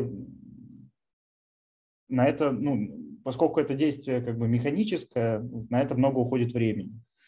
Вот вспомните, где там правильное место, куда она должна сдвинуться, ну и, собственно, сдвинуться. Вот. Э, там, с появлением флеш-накопителей это стало гораздо быстрее, там прям все очень сильно продвинулось, но тем не менее это медленнее, чем оперативная память. Вот. Ну и каждая база данных сама по себе это довольно комплексная штука. Вот. Это довольно сложное программное обеспечение, и мы так им пользуемся обычно, как бы представляя себе, что вот есть интерфейс у него, положи туда данные и считай данные оттуда. Ну, еще можно передать ему запрос, э, некий запрос, э, в соответствии с которым э, СУБД профильтрует что-то, смержит таблицы, сджойнит, там, выкинет ненужные поля и отдаст вам. Но на самом деле, вот э, посмотрите, да, сколько всяких элементов может включать э, одна нода СУБД. Это и да, кластер communication. Кластер это что? Кластер это у нас совокупность нод, которые действуют совместно. У нас многие базы данных в нынешнее время являются распределенными, поэтому ноды внутри кластера базы данных, они должны постоянно взаимодействовать друг с другом часто. Вот поэтому нам нужен такой модуль, который будет уметь устанавливать опять те же самые TCP-коннекции, например, с другими нодами, и постоянно общаться с ними. Вот. А потом модуль, который с вами, собственно, взаимодействует, который умеет э, принимать от вас TCP connection, принимать от вас текстовые ваши запросы и отвечать на них. Вот. А, он передает ваши запросы в систему, которая занимается их обработкой. То есть ваши запросы, опять же, нужно распарсить. А, их нужно, ну, то есть понимаете, что база данных не, не, не на самом деле не, не разговаривает с вами на одном языке, да, она с помощью той конструкции, которую вы ей посылаете, с помощью этого запроса, вычленяет из него некие токены, да, для нее важные и каким-то образом интерпретирует, что она должна сделать. Понятно, этот запрос, опять же, нужно оптимизировать. Потому что, ну, точнее, не то, что оптимизировать, а база данных, она тоже не, не выполняет все в лоб, как вы и сказали. Она, если это, например, реляционная база данных, она состоит из множества таблиц, она собирает статистику обо всех этих таблицах. Она знает, сколько в них записей, какие у нее есть индексы, по каким индексам выгодно ходить, по каким индексам невыгодно ходить. А, для, для как, ну, там, к какой таблице, каким путем ближе дойти и так далее. Вот. Э, она джойнит э, таблицы тоже, исходя из их размера. А, исходя из этого размера, она выбирает подходящие алгоритмы джойна, потому что алгоритмов джойна тоже ну, несколько, наверное. Вот. И все это делается здесь, да, принимается некое решение. Вы, кстати, даже можете, если вот с Postgres общаетесь там с Oracle, с чем-нибудь, то вы когда посылаете запрос некий, select, в базу, вы можете написать специальную конструкцию, там, explain, например, вместе с этим запросом, и база данных выдаст свой вам анализ и э, то, как она предполагает выполнять ваш запрос. Да? В каком порядке, какие таблицы она с чем будет джойнить, по каким индексам она пойдет, по каким не пойдет. Это всю информацию она может вам предоставить. Это очень полезно бывает, когда вы хотите, ну, то есть у вас какой-то запрос долго выполняется, и вы хотите его соптимизировать. Вот. В это, вы создаете какой-то индекс, да, и вы понимаете, что это не помогает. Почему это не помогает? Может быть, база данных вообще не пользуется вашим индексом. Такое вполне возможно. Она считает, что выгоднее будет пойти по-другому. А может быть, она просто не успела накопить достаточно статистических данных, чтобы сказать, что по вашему индексу ходить удобнее. Да? быстрее. Вот. Э, и есть целая подсистема да, внутри СУБД для этого есть. Э, вот. Ну, тут понятно. Тот, тот, тот э, товарищ, который передает все это на исполнение, и отдельная целая прям вот такой конгломерат, который управляет, собственно, самой базой данных. То есть вот это все была надстройка над базой поверх. Да? И вот на самом деле та штука, которая уже умеет хоть как-то на диск писать. Самое это главное, это вот э, в персистентном сторидже, это то, что вы все в итоге, все ваши данные, что бы вы там ни делали, сохраняются в файлы на файловой системе. И у каждой базы данных может быть абсолютно свой способ э, сгруппировать эти файлы, э, абсолютно разная структура этих файлов. Кто-то данные будет хранить там через какой-то сепаратор, кто-то будет разбивать данные по разным файлам, э, ну, то есть одни и те же данные, например, по разным файлам. Кто-то будет хранить а, файл с индексом прямо вместе с данными, кто-то индекс будет хранить, а, каждый индекс в отдельном файлике, например. Ну вот, но главное, что никакого волшебства тут нет.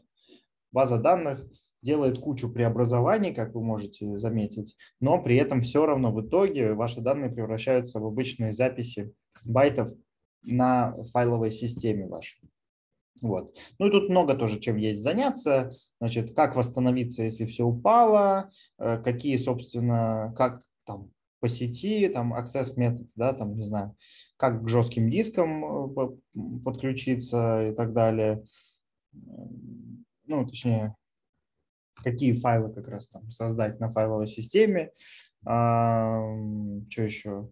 Управление транзакциями, то есть все, что с concurrency связано, с обработкой транзакций, это все в этом слое находится. Да? Но еще раз, система очень сложная, но при этом никакой вроде бы магии нет.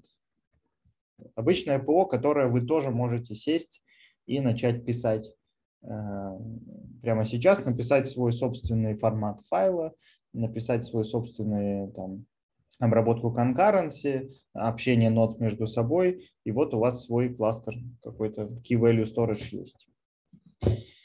Так, теперь, да, вы как программист работаете со структурами данных на языке программирования, постоянно это повторяю, и вам очень приятно думать классами.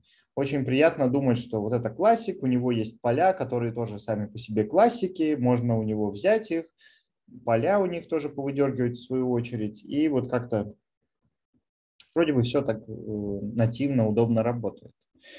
Э, понятно, что база данных вообще не размышляет в этих терминах. Для нее нет вот этих объектов, классов, они не связаны вот так вот между собой с ссылочной доступностью. А, это, еще раз, ее задача правильно в нужном, как ей нужно, разложить это на э, диск в соответствии с теми характеристиками, которые у, эти, у этой базы данных есть. Если ей сказали, там, реляционной базе данных сказали, сохрани юзера, то он пойдет, создаст э, строчку в таблице. Строчка в таблице это может быть всего лишь просто там 15 Э, байтов э, где-нибудь на файле да, дополнительно записать и индекс обновить, то есть еще в одном файле, например, сделать изменения. Сказали Монги записать юзера, он там тоже пойдет в определенный файл, найдет, э, где хранятся эти юзеры, и просто JSON посмотрит, что вот у меня есть JSON, запишет его файл и успокоится на этом. Вот это все совсем не совпадает с тем, как вы работаете на языке программирования. Вот. Но эм, вы вообще как программисты не хотите знать, что происходит внутри базы данных. Вы не хотите знать, по каким файлам он это все распихивает, сколько байтов это все занимает и эм, как эти файлы связаны между собой. Вам бы желательно, хотелось бы понять только вот что что вот есть база данных, она документоориентированная называется, значит, она пользуется моделью общего пользования, ну вот такой, документами.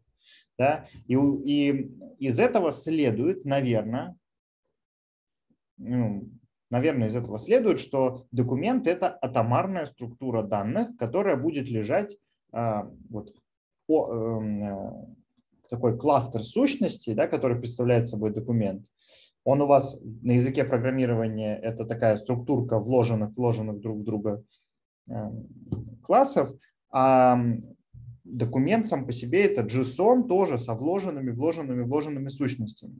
И вот кажется, что, наверное, значит, э, очень удобно хранить это рядом, потому что вот, например, я считаю, что а, там задача должна включать в себя всех пользователей, которые на этой задаче есть. Я хочу каждый раз, когда получаю задачу, хочу сразу с пользователями получить. И делаю предположение из того, что это документ, что, наверное, они вместе будут на диске лежать, и что мне не надо будет делать дополнительный никакой запрос. Да? А вот если бы реляционная база была, то мне бы join надо было сделать, написать select какой-нибудь там, select from users, ой, from tasks, там, join users where там task, там, task автор ID равно там user ID и так далее. Вот. В случае там с документами мне этого не надо. И я думаю, как хорошо. Значит, значит, я переношу как бы, э, пытаюсь сформулировать, переношу само определение вот этой модели, что это документ атомарный и вот большой JSON, я переношу его на, фун- на нефункциональные требования некоторые. Я считаю, что, наверное, это будет быстро э, достать один JSON вместо того, чтобы в реляционной базе данных э, писать какой-то запрос. Вот. И мы как программисты, мы хотим все-таки размышлять вот в этих категориях, а не в том, как реально на диске там все это будет происходить. Поэтому мы будем пытаться понять, вот для, нашей, для нашего домена, для нашего приложения, какая модель общего пользования подходит? Нам нужно нормализовать базу и делать реляцион, использовать реляционную СУБД? Или, возможно, нам удобно использовать, удобно, быстро и приятно использовать документоориентированную базу, где все денормализовано, и это привносит свои плюсы, привносит свои минусы. Или, возможно, нам нужны графы, потому что нам нужно найти задачу, которая создана от задачи, которая создана была тоже от задачи, которая была из вопроса создана. Нам нужно вот это все, значит, цепочки такие собирать длинные. Вот. Поэтому, значит, э, какой порядок? Эм, мне всегда сложно об этом рассказывать, потому что вот я сейчас говорил и понимал, что вы можете сделать вывод, что для начала нам нужно выбрать СУБД, а потом начать э, программировать. Э, то есть сначала мы выбираем, какую мы базу данных будем использовать, а потом начинаем э, проектировать наши ну, там, сущности, нашу архитектуру данных. Исходя из того, какую мы базу выбрали. Документно ориентированную, значит документы, там, реляционную, значит таблицы. Но я хочу, чтобы вы, когда берете проектирование, вы сначала э, смотрели на ваш домен, смотрели на то, как будет использоваться ваш домен. То есть то, о чем мы на первой лекции говорили. Сначала берем, смотрим э, на наш э, ubiquitous language вы сделали, там, не знаю, описали ваши entity или, может быть, даже агрегаты, потом посмотрели на функциональные требования и подумали, вот эта операция выполняется часто, вот это редко. Вот эта операция чтения, и она выполняется в 95% случаев, вот эта операция записи, она выполняется в 5% случаев. И исходя из того, что у вас уже есть вроде бы а, какое-то понимание вашей предметной области и того, как будет использоваться, а, совместили и посмотрели, а как можно, какую модель общего пользования именно, да, не базу данных, а именно вот граф, документ, key value или э, реляционно. Вот что для ваших операций будет самое выгодно использовать. Ну, понятно, что есть еще факторы, например, скорость разработки. Да? Эм, наверное, там, для многих будет быстрее всего разработать с помощью эм, эм,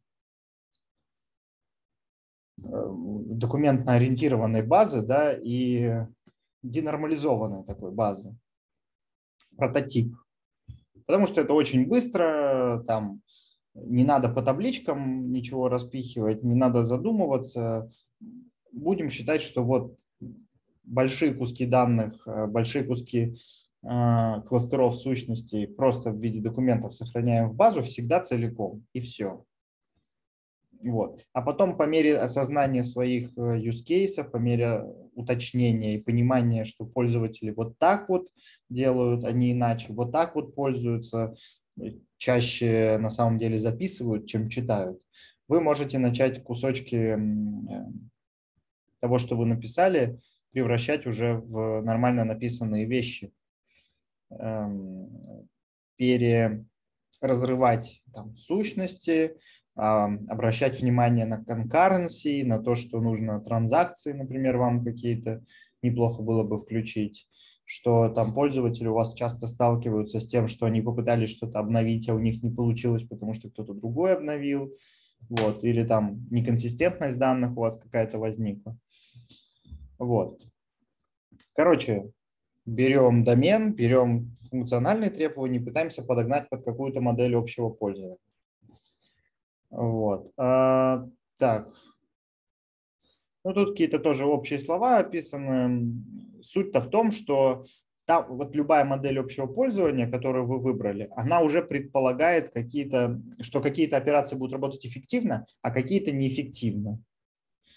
Например, понятно, про графы даже можно не говорить, там какой-нибудь обход там, или там поиск кратчайшего пути, естественно, в графовой базе данных и на графе будет эффективнее выполняться, если у вас структура графовая есть, чем если она хранится в реляционной базе данных и в виде таблиц графы представлены. Понятно. Но какие-то более простые вещи, например, например, например, там, любое добавление эм, пользователя в таблицу будет работать быстрее, например, в реляционной базе данных, если у вас действительно нормализованная схема, чем если, например, вы храните, ну или обновление пользователя, да, чем если вы храните этого пользователя во всех задачах, например, где он есть, и вам нужно везде обновить. Да, у вас схема денормализованная, вы в каждом документике json держите, например, исполнителя задачи, его имя. Вот, для того, чтобы ваш фронт быстрее просто отрисовывал этого товарища исполнителя. Вот, и вам тогда придется всю базу данных обновить, да, все те там задачи, которые этот пользователь выполняет, везде найти их и поменять ему имя. Условно. А, вот. Или опять же, э, вы понимаете, что если вам требуется операция джойна, то она гораздо проще будет выполняться, если у вас есть реляционная схема. Вот. Эм, Но при этом, если вам нужно нарисовать на экране кучу вложенных сущностей, да, э, опять же, ту же самую таску с ее исполнителями, ее вложенными тредами и так далее, и так далее, и хотите это сделать быстро, то почему бы нам не хранить ее в виде документа уже готового, чтобы фронт мог просто прийти, прочитать ее из базы и нарисовать на экране. Так, что у нас по времени? А, ну, есть еще. Ну, так, смотрите, к нам приходит заказчик. А, заказчик – это вот этот мозг. Он, значит, несет нам требования. Он хочет, чтобы мы разработали систему управления проектами Квипи у него концепция есть, но она еще очень сырая. Он сам не понимает еще до конца, что он хочет. Вот. А, а хочет он примерно следующее. Он хочет, чтобы пользователи могли создавать проекты. А, в проект можно было добавлять вопросики, потом переписываться в этих вопросиках, то есть ну, писать э, чат, чат, короче. Да. А, можно было, чтобы задачи создавать в проекте. Чтобы задача была с исполнителем, с, с автором и с э, отвечающим, ну это, видимо, а, вопрос, вопрос э, имел человека, который на него будет отвечать, вот. И вот, в общем, нужно уметь, просто у нас есть графический интерфейс, там ID проекта, нужно нажать на, это, на, ну, на название проекта и получить на экране все об этом проекте. Смотрите, что нужно сделать? Нужно сформировать домен, как я сказал, потом понять, как будет использоваться. Домен мы уже формировали. Домен получается примерно такой. Есть проектики, древовидная такая структура. У них, у каждого проекта есть много вопросов, получается, задач. У каждого вопроса еще комментарии есть. Вот. Все, а, все хватает? Ну, весь домен написали примерно.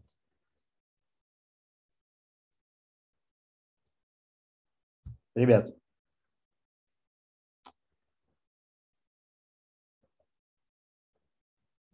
Чего не хватает? Давайте так.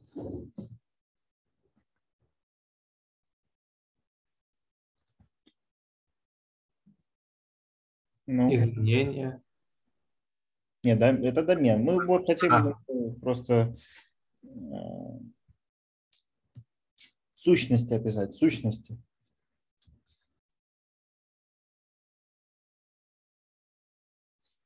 Ну, на самом деле, чего-то не хватает, не хватает пользователя.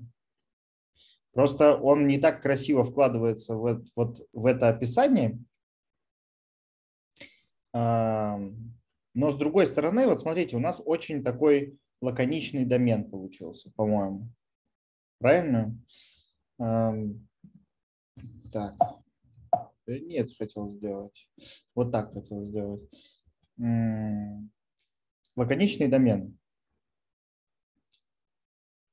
Как мы его хранить хотим? Как будете его хранить?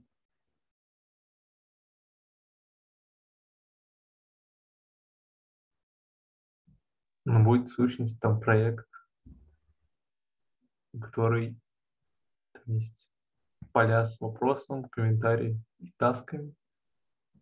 Ну, вернее, вопрос и таск, и у каждого вопроса еще комментарий там, разные таблички связанные. А функциональные требования какие?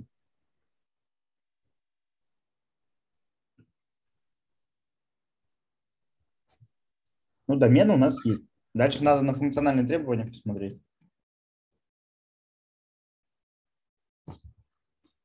А у нас из функциональных требований, значит, заказчик хочет, чтобы когда нажимали на название проекта, чтобы вот вся информация о проекте вообще сразу появлялась на экране. Все сразу на экране, чтобы появилось. Как бы это сделать получше?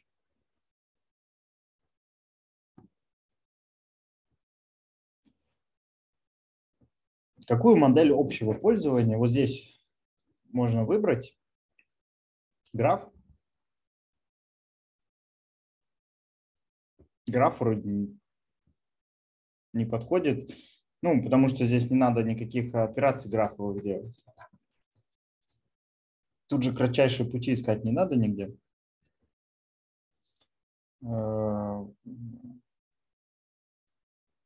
Подходит таблицы, ну, реляционная схема подходит. Документ. Документ подходит? Да. Ну, типа, проект это как документ. А, хотя у нас тут есть еще комменты. Ну, так вот, бам, и целый документ.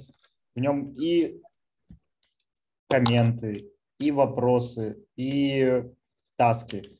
Главное просто, у вас заказчик хочет всего лишь, чтобы вы научились отображать это. На самом деле у вас заказчик пришел с ужасными требованиями. Вы даже не уточнили у него, да, а, что он хочет-то. Вот он здесь, а, а, ну вот он еще худо-бедно хоть сказал, что в проект можно добавлять задачу, то есть новую создавать задачу. Да? Но вообще требования, конечно, никуда не годятся. Мы должны будем э, хорошенько потрясти заказчика, чтобы получить от него более конкретное что-то. Но мы взялись уже вот так вот делать. Документ. Вот такой. Документ. То есть тут у него список вопросов лежит, список тасок. В каждом вопросе комментарии лежат. В общем, достаточно удобно.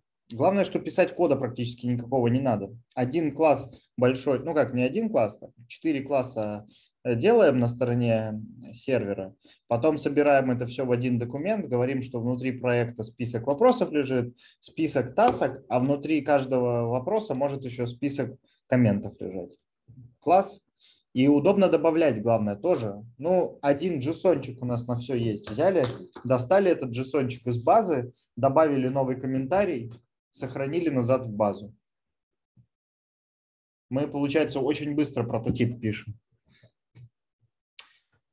А, вам нравится этот документ? Что напрягает вообще здесь? Напрягает ли что-нибудь здесь? Вот надо было спросить.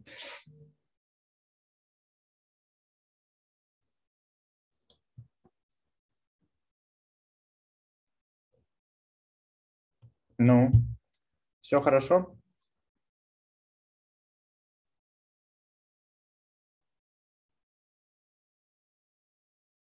Ну, куча опять лишних вот это слово контент, description, потому что у нас много будет ну, так. Да и ладно, ладно, тут мы решили, ну, Монго так вот документы представляет. Главное, нам удобно, мы в Монгу заходим и всегда все видим, прочитать глазами можем. И, ну, сразу понятно, что мы все правильно обновили. Не суть. Сама структура документа вас ничем не напрягает?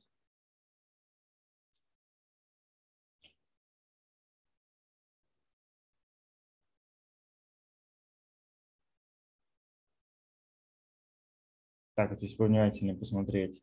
А, может быть и ничем вполне. Но давайте посмотрим на новое требование от заказчика. Он говорит, что хочет изменять отображаемое имя пользователя. И смотрим назад на этот документ. Ладно? Удобно ли менять имя пользователя здесь? Вот если вы заметите, у нас пользователь здесь хранится прям как структурка, встроенная в этот JSON. Да? И проблема-то в чем? Проблема в том, что он дублируется. Вот для того, чтобы поменять здесь имя пользователя, нужно пройтись по всем проектам, найти этого пользователя во всех задачах, во всех тасках, во всех этих вопросах, комментариях и везде поменять ему имя. И это проблемно достаточно. Но, но решаемо. То есть используется такая денормализация, но в данном случае это как-то слишком много работы для нас, не находите? Мы хотим что-то попроще сделать. Что будем делать? Будем заниматься нормализацией. Что такое нормализация, в, э, ну, не в данном случае, а вообще? Это значит, что мы хотим устранить дублирование, вот это, которое у нас есть, да, что пользователи у нас повторяются много где, и, э, и избыточность, которая формируется из-за этого дублирования. А каким образом? Путем декомпозиции, то есть взять сущность какую-то и вырвать кусок этой сущности, выделив ее в отдельную сущность. Вот здесь у нас был автор и целая здоровая структура данных этого автора. Теперь мы будем хранить внутри нашего комментария, там, вопроса, таски только айдишник пользователя. И выделим отдельную коллекцию. Да, в, в MongoDB, которую я как пример привожу, нет понятия таблица, но есть понятие э, группировки да, документов там, условно э, одинаковых, одинакового типа, да, это коллекция. Мы документы помещаем в различные коллекции.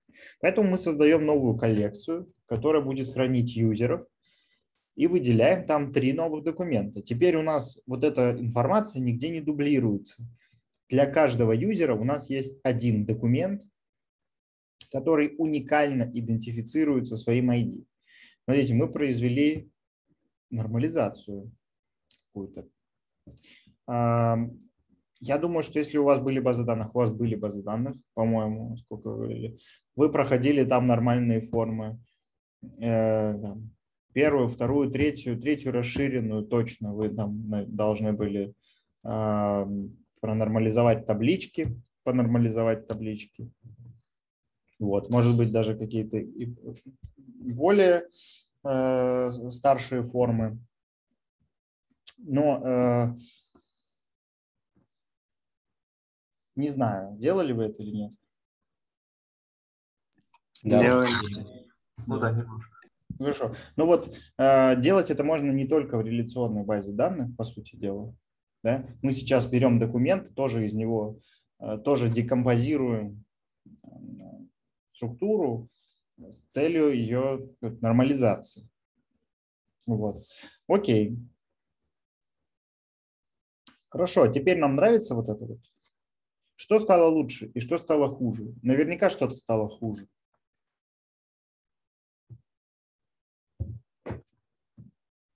Вы как, разра... вы как проектировщик системы, вы сейчас разделили на две коллекции отдельные вашу модель данных, да, нашу структуру данных вы какие-то выгоды должны были от этого получить в, каче... в, в плане нефункциональных требований к вашей системе и должны были получить какие-то негативные последствия. Вы видите здесь какие-то позитивные и негативные последствия? Лишний join. Угу. Лишний join действительно. Это негативно или позитивно? Ну, все, что лишнее, всегда негативно. А, да. Ну, это как э, в английском языке, да, мы же используем слово redundant. Э, там непонятно, как бы лишний или избыточный. И иногда избыточность делается в, для того, чтобы увеличить надежность системы. Поэтому лишний в данном случае не всегда не всегда. Нет, ну, здесь это правильно, потому что мы получим данные всегда достоверные. А что, кстати, это хорошее замечание, если я правильно вас понял. Что вы имеете в виду?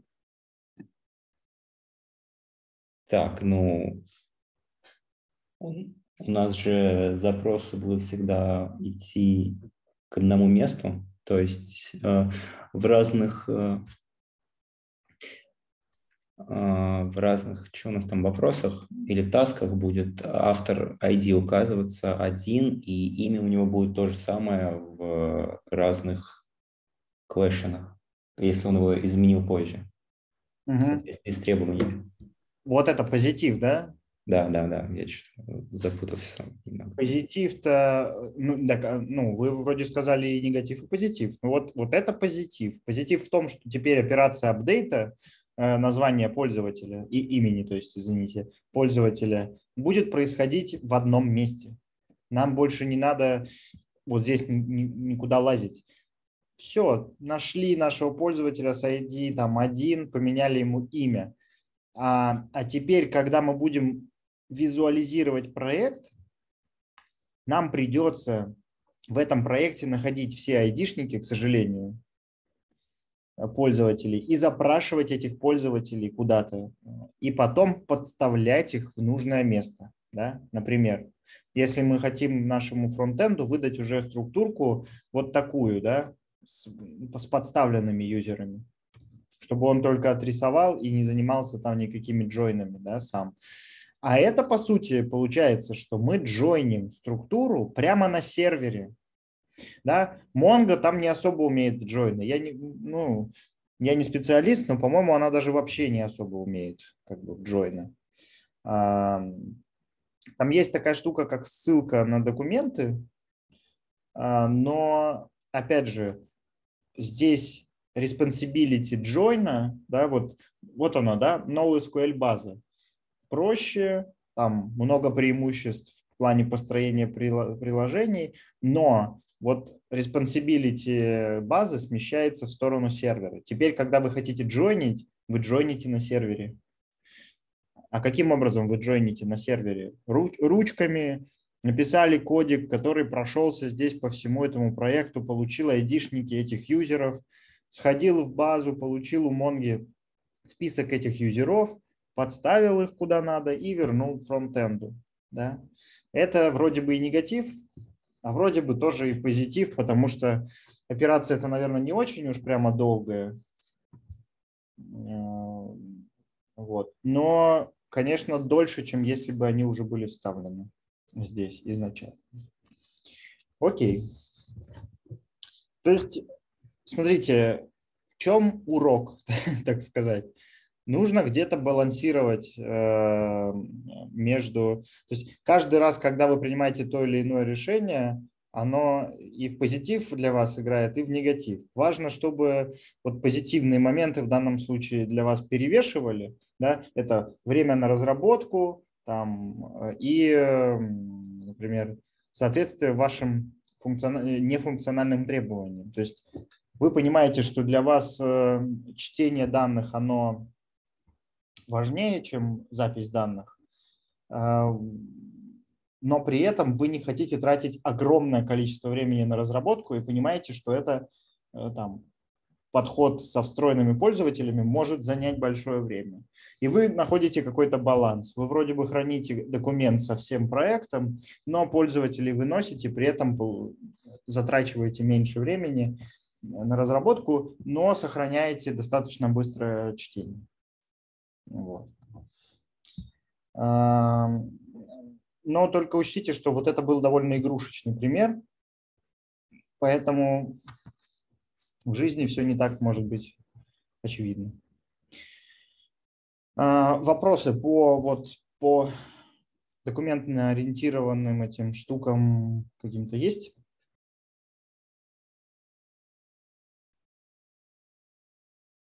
Нет.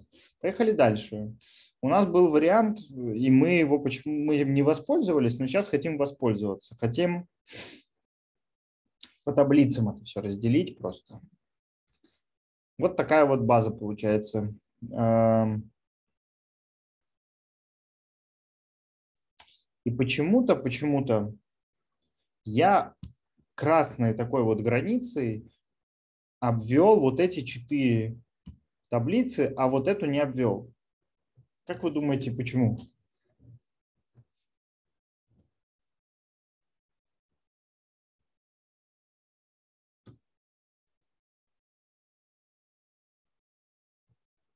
В чем разница? Ну, очевидно, где-то здесь разница есть между вот этими четырьмя и вот этой вот одной.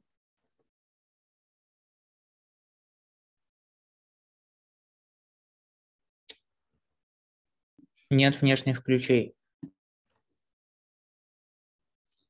Внешних ключей нет, это правда. Что из этого э, следует?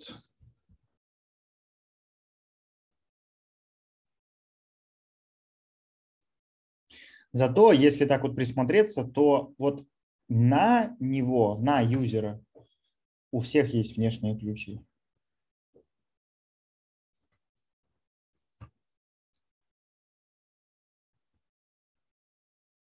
Ну вот смотрите, может быть, вот еще раз, вот почему здесь юзер вот так вот обособленно нарисован?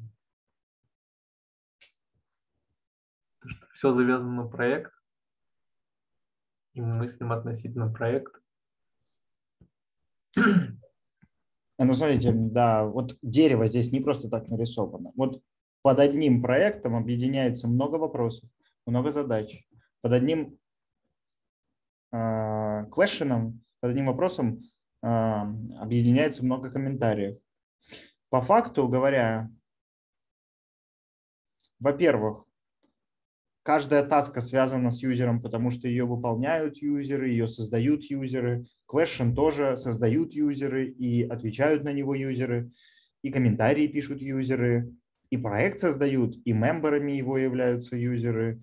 То есть юзер здесь, он прошит просто красными нитками сквозь все эти сущности. Мало того, он может являться, ну, поскольку он создатель проекта, да, он может у одного юзера быть много проектов. То есть юзера здесь можно прямо наверху еще написать, к нему много проектов относится. И при этом у каждого из этих проектов может быть много юзеров, то есть его участников. Так вот, разница-то в том, что вот эти товарищи 4 отлично укладываются в деревянную структуру, ну, структуру дерева, да, под общим корнем проект. Вот так вот можно все уложить. А юзер, в отличие от них, от всех, связан другой, другим типом связи. Вот смотрите, вот здесь вот связь один ко многим, проект один, тасок много. Вот здесь вот проект один, квешенов много, один ко многим связь. Question один комментов много, один ко многим связь. И дальше, значит, один юзер много тасок, один юзер много квешенов, один юзер много комментов, один юзер много проектов. Вот здесь вот такая, такое замыкание получается. У одного проекта э, много юзеров, но у каждого юзера много проектов. Так вот, проект и юзер здесь связаны на самом деле связью по факту много ко многим. Вот. И а, а, вот, ну, не вписывается он в деревянную вот эту структуру. И поэтому очень удобно вот, вот это дерево, которое действительно деревом является, объединять в виде документа, а то, что в это дерево не вписывается, пытаться из этого дерева как-то вынести, пытаться из этого документа как-то вынести, возможно. Вот. И вот когда у вас структуры данных укладываются в такие деревья, да, независимые от других сущностей, то, возможно, стоит рассмотреть вариант использования документоориентированной базы. Ну вот. И как-то я неправильно сказал, так сейчас одного юзера много проектов. А, ну да. Но он просто через э, вокруг связан много ко многим. То есть одного юзера много проектов, у каждого проекта много юзеров по факту получается. Так. Дальше. Про нормализацию мы уже поговорили. Смотрите, как э, вам вот такая вот штука. Вот если все это в таблицу объединить в одну, да, не как здесь было, а в одну таблицу и сюда напихать значит, лист квешенов, лист тасок, вот, но юзеров отдельно.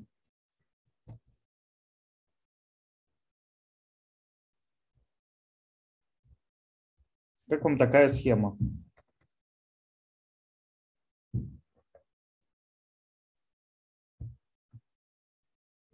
Ну, долго добавлять вопросы и таски. и искать по таскам и по вопросам. А, ну хотя нам и по ним искать не надо. Ну, в целом, относительно ничего.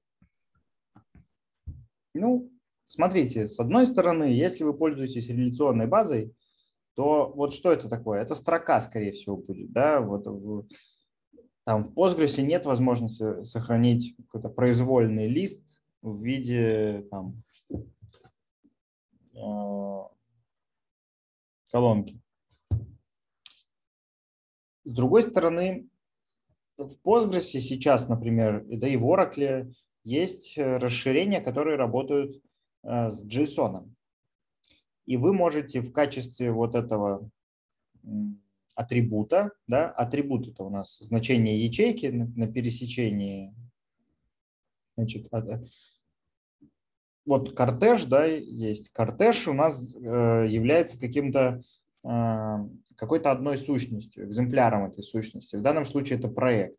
И вот на пересечении рекорда и значит, колонки, да, которая означает название атрибута, у нас есть какой-то конкретный атрибут. Здесь это вот вопрос.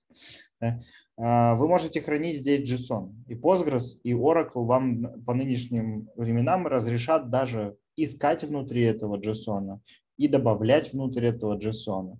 И, в общем-то, это даже будет очень неплохо работать. Вот. А, с другой стороны, в учебниках по базам данных вам скажут, что вот эта штука, она не соответствует первой нормальной форме.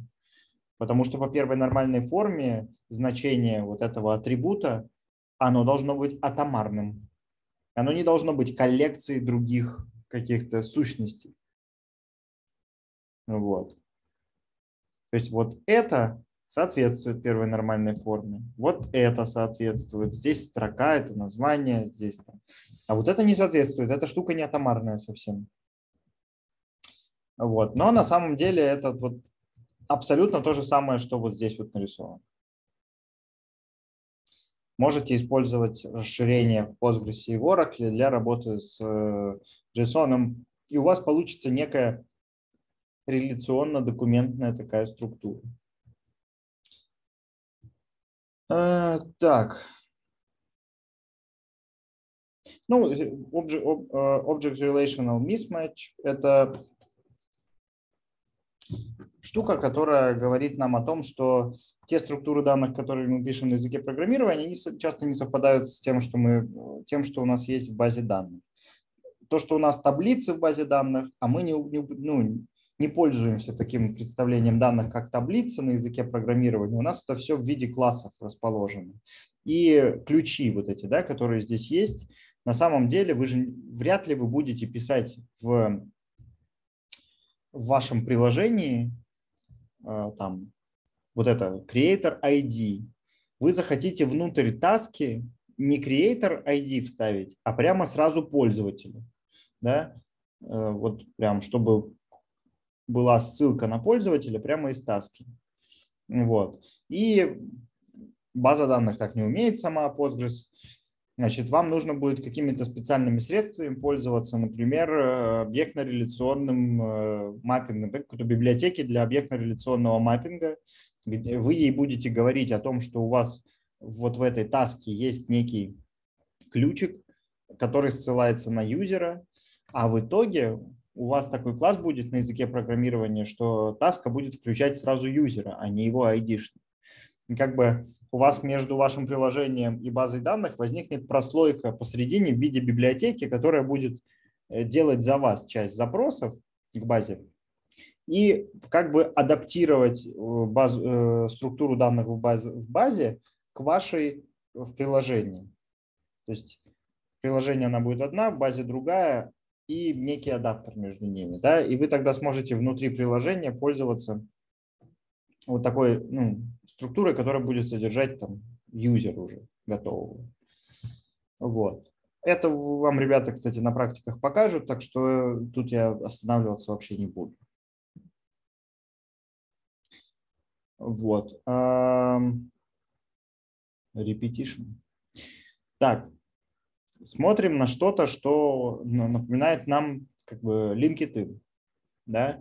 У нас здесь есть э, некая биография и места работы, да, рассказ о том, где мы учились, там, и так далее, и так далее. Ну, вот типа LinkedIn.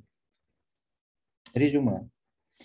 Вот, Билл Гейтс, там, туда-сюда, все такое прочее. Вроде бы это очень хорошо все ложится под деревянную структуру. Есть у нас юзер, у него есть те позиции, на которых он работает, а, есть образование его. У каждого айтема в образовании есть имя, начало, ну, дата поступления, дата окончания и так далее, и так далее. Очень хорошо все получается. Очень хорошо.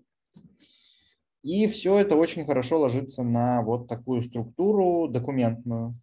Поэтому давайте будем хранить наше резюме в виде документа.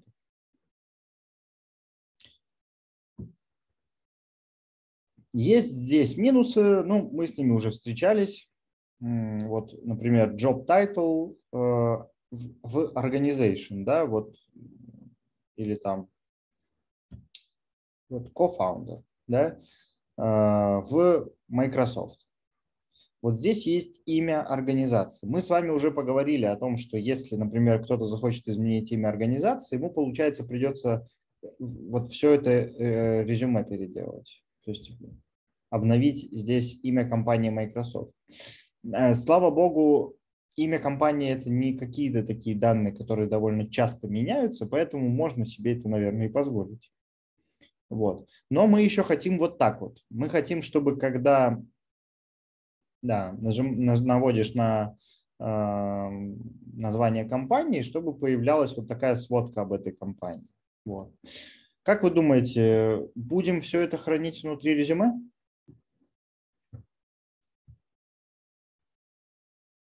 Нет, это отдельно где-то все. А, ну да, смотрите, вот получается, что у нас есть где-то такая схема что у нас есть набор организаций, в которые работают люди, и есть набор резюме. И получается, что, во-первых, один человек может работать э, во многих организациях в разное время, ну и, ну и каждая из организаций при этом может включать в себя многих людей. Вот у нас и связь много ко многим да, образуется, которая в деревянную структуру уже не вписывается так хорошо.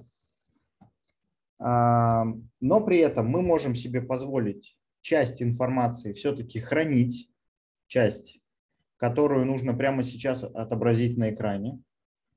Тем более, что мы уже выяснили, что она не часто меняется, значит, нам затраты это практически не принесет.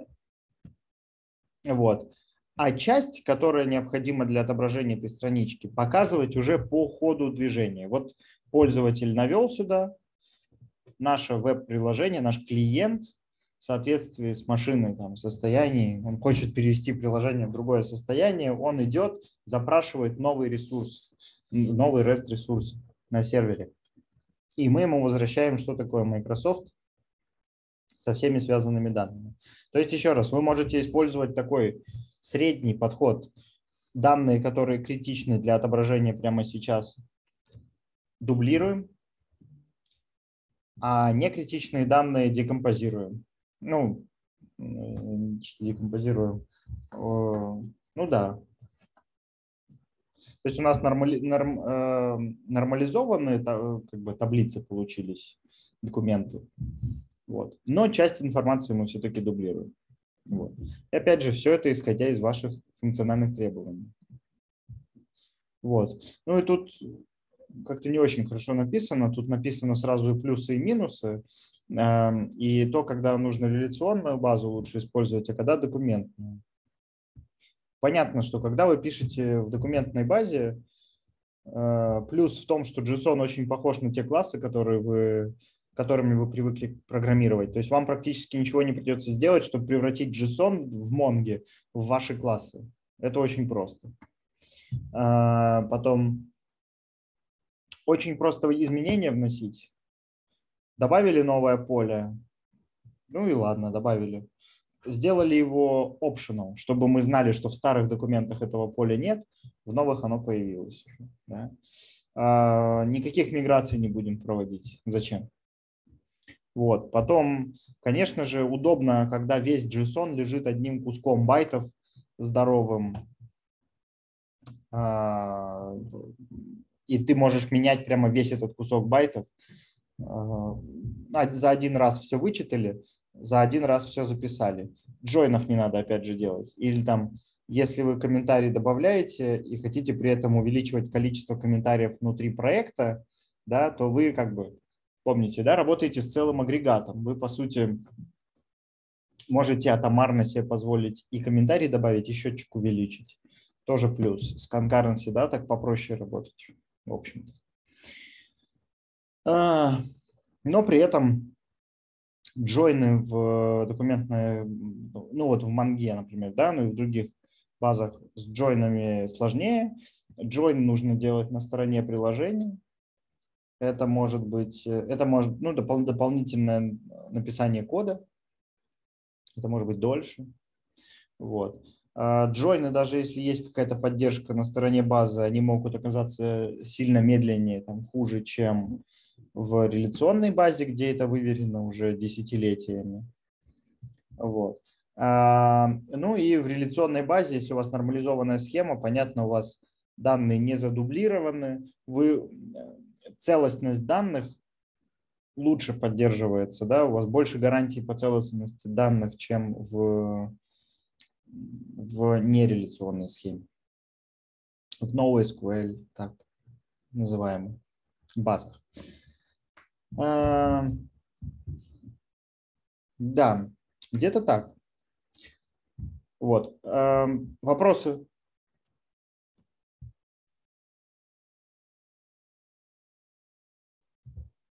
Вопросов нет?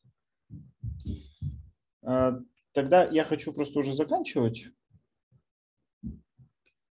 Но, значит, еще покажу, что у нас вот такая есть модель общего пользования, как граф. И вот нас заказчик захотел там э, под дерево сразу, да, все целое чекать, или там из любой таски хочет найти самого первого ее предка. А у нас в крипе вот такой вот граф, да, из question можно question создать, из question таску, из таски таску и так далее. Значит, окей. И вот у нас какие-то еще даже э, между ними связи есть, где мы описываем, какого числа мы это сделали, автора там и так далее. Как мы это в реляционной схеме можем сделать? Мы это, во-первых, можем сделать в реляционной схеме. Для этого достаточно двух таблиц. В первой таблице мы можем хранить э, вершины этого графа, то есть э, вопросы и задачи. А во второй таблице можем хранить ребра этого графа, э, то есть связь между этими вершинами. Вот. Мы в ребрах просто будем хранить, ну, понятно, у нас каждое ребро, оно уникально, мы будем хранить ссылку, то есть внешний ключ на начальную вершину и на конечную вершину. То есть вот, вот начальная вершина, вот ребро, вот конечная вершина. Вот. Классно. Вот такая у нас схема есть. А, скажите, запрос, вот как здесь вывести все под дерево? Можно ли здесь вывести все под дерево вообще?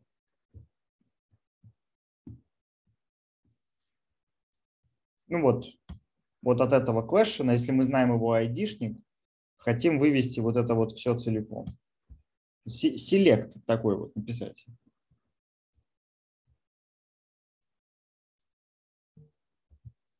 М? Ну, надо много join. А?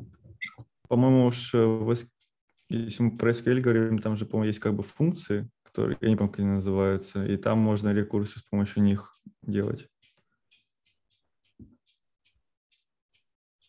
Да, ну то есть нужно написать такой особый тип запроса, который будет уметь как, как бы рекурсивно обходить под дерево, да? Да, да. Для начала вот взять вот этот question, потом найти его, а, первый слой его потомков, потом для каждого из этих потомков найти его слой потомков и так вот расширять, расширять, потом нам вывести. А, значит, вот так вот граф можно, мы сейчас вернемся к рекурсивному запросу, но вот так вот граф, например, можно определить в Neo4j. Это графовая СУБД. Довольно нативно выглядит. То есть э, говорим, создай мне таску, у которой имя вот такое, создай вопрос, у которого имя вот такое, а теперь вот мой вопрос, он, у него ребро есть на такую-то задачу, и вот такое-то между ними relationship, да, э, как это называется, отношение, взаимоотношения, да, такое между ними. А, вот. И вот такая-то таска, она является чилдом вот такого-то вопроса. Такой-то вопрос является чилдом вот такой-то таски. Ну, то есть, только наоборот, наверное, сейчас. В общем, кто знает, что я уже имел в виду. Надо было граф здесь нарисовать. А, ладно. А, и, значит, для того, чтобы вывести здесь, например, а, там, путь от э, произвольной задачи до ее рутового предка, да, нужно выполнить такой вот запрос, например. Или сказать, что найди мне путь от такой-то таски по таким-то по таким-то ребрам, по ребрам с таким-то релейшншипом. Вот. И она, по, ну, в данном случае она весь путь ищет, поэтому она пойдет прямо по этим ребрам и выведет вам все вершины, которые входят в этот путь. Вот. А, но суть-то в чем была здесь? Суть в том, что а, в графовой базе данных, если вы решили ее использовать, у вас терминология сама, ну, понятно, база заточена под употребление слов э, нода там и edge и ребро, поэтому вы, по сути, э, очень хорошо в домен этой базы ложитесь. Вы можете ей прям писать, что нам нужно найти такие-то ноды, проходя по таким-то там ребрам. И на глубину такую-то, например. Ну, вот здесь вот, например, глубина не ограничена. Вот, по-моему, вот, этот, э, вот это выражение говорит о том, что э, мы можем в неограниченную глубину уходить по этим ребрам. А могли бы там сказать, что нас интересуют только первые три ряда наших там предков. Вот. Чем-то аналогическое программирование похоже.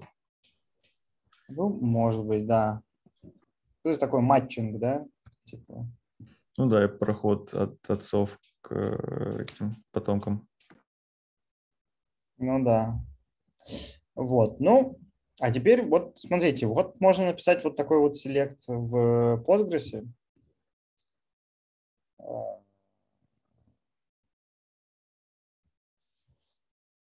Parent of. Вот такой вот селект в Postgres. Непростой достаточно, но не очень огромный при этом. Да? который потребует от нас использования такой вот не совсем обыкновенной конструкции with recursive. Вот. В обычной жизни данное ключевое слово with, оно могло бы быть использовано для того, чтобы закэшировать результат вот этого запроса, и мы бы могли как бы сделать кэш, а потом в селекте в основном использовать уже этот кэш, да, то есть такие предагрегацию сделать, а потом уже на, на ее основе делать какой-то более серьезный запрос. Вот. А, но Здесь используется не просто with, а, а рекурсивный with. Вот. Что здесь происходит? Здесь выполняется первая часть запроса, которая находит нам, э, это база рекурсии, э, значит, она находит нам задачу, от которой мы пойдем. То есть самую первую задачу нода с э, нужным нам названием. Просто задача. Да? А дальше она будет итеративно на самом деле выполнять вторую часть запроса, вторую, а, которая будет основываться на, на, как бы, на первой и а, как бы вот с помощью этой штуки мы будем как бы эмулировать рекурсию На самом деле это все итеративный процесс. Мы на каждом шаге будем брать и расширять область нашего поиска. То есть вот в первую, в, э, на первой итерации вот здесь, да, или вот, вот так тоже можно написать. Окей. А, мы найдем нашу первую задачу, от которой мы пойдем. Потом выполним вот эту часть запроса и найдем еще две вершины, то есть наших предков, например, вторую третью вершину. Но потом нам нужно рекурсивно это повторить уже для вот наших вот этих товарищей. Для второй и третьей вершины тоже найти их потомков. Поэтому мы как будто бы обратимся к э, как бы, промежуточной таблице, в которой будут лежать вот эти товарищи. И попросим для них сделать то же самое, для них выполнить вот эту же часть, вторую запроса, и присоединить это к результату. Я тут где-то пытался сейчас пытался рисовать, что будет э, храниться вот в этой промежуточной нашей таблице children of, да, вот здесь вот, на каждом этапе выполнения запроса. Вот мы на первом выполним, у нас будет первая вершинка в, в этой табличке, на втором этапе у нас будет лежать вторая и третья уже вершины, и на третьем четвертая. Потом мы это все объединим, и вот наше целое поддерево будет 1, 2, 3 и 4. Вот. Но согласитесь, что для понимания вот этот запрос, он гораздо сложнее, чем то, что мы могли бы написать в Neo4j, например. Поэтому если у вас огромное количество эм, use cases, когда необходимо находить какие-то пути, находить какие-то поддеревья, какие-то кластера там связанных, э, там, чего-то, сущности, то, возможно, вам стоит рассмотреть, использовать использование графовой СУБД. Вот. А, при этом мы не забываем, что мы разрабатываем микросервисы, а в микросервисах есть такое преимущество, да, что каждый из них, в зависимости от тех задач, на которые он конкретно заточен, может использовать собственную базу данных потому что он независим никак от остальных в этом смысле. Вот. И в реально больших системах, в сложных бизнесах, там, не знаю, Авито какой-нибудь или еще что у них там десятки разных баз данных, те, которые подходят э, лучше для решения той или иной задачи. Вот. А у меня на этом все. Э, вот. Есть ли у вас вопросы ко мне? А можно там спросить немножко вот не по этой теме? Вы там просто упомянули про синхронность а, во время HTTP запроса. Так. Вот, а там async, я же так понимаю, что он отличается от мультипроцессорности в том, что он выполняется на одном процессе, но асинхрон, ну, типа, преимущество скорости за, за счет того, что у нас какие-то процессы просто долго ждут информацию о получении. А ты мы как, о каком языке говорим? Ну, о любом, нет? А асин, Там... ты имел в виду что асин? Ну вот аси, асинхронное выполнение, это же по идее на одном потоке. О, а. Просто... Так вот у меня чуть ласки явно. Это, значит,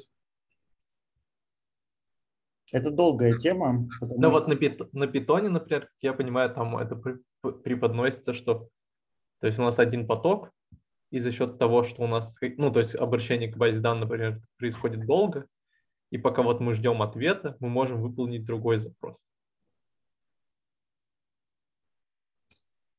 Тут смотри, такой, такой, такая штука.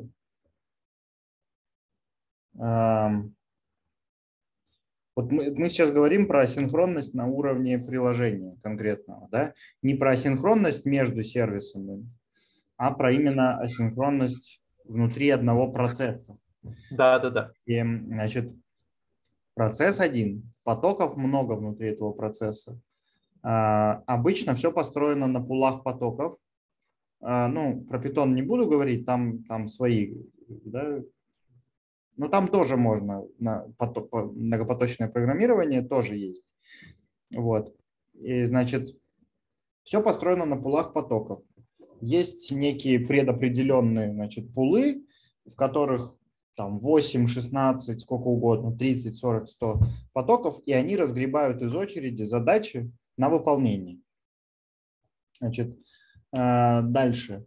Ты когда пишешь запрос в базу, ты говоришь, я пишу async, там, вы выполни запрос в базу и как бы засыпаешь на этом месте, а потом, когда просыпаешься, ты просыпаешься, когда данные пришли, да? Вот просто, да, тут вопрос именно в том, вот как мы, ну, то есть, условно говоря, мы же не просто отключились и в какой-то момент включились и получили данные. Мы же именно должны работать на прием. То есть вот как мы так отключаемся, но при этом еще слушаем, что нам приходит ответ. Типа как мы не пропускаем ответ. Я, как ни странно, понимаю, о чем ты говоришь, но э, это так сложно э, объяснить. Во-первых, поток не умеет, э, ну он поток не умеет делать так, как ты говоришь. То есть ты не можешь сказать потоку засни, ну то есть вот возьми эту задачу, пошли это в базу данных и проснись, когда придет э, ответ, а, а, а в то время, пока ты спишь, э, возьми и поработай, ну то есть пока данные не пришли, освободись и поработай с другой задачей. Вот поток так не умеет сам по себе. То есть если ты ему сказал, так, ты поток, иди в базу данных, то он как бы может заснуть, но он в это время ничего не будет делать. Он будет просто простаивать. А, по, до тех пор, пока э,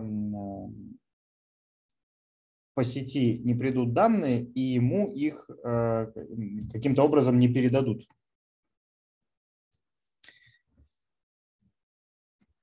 Есть механизмы более, как это называется, легковесных потоков.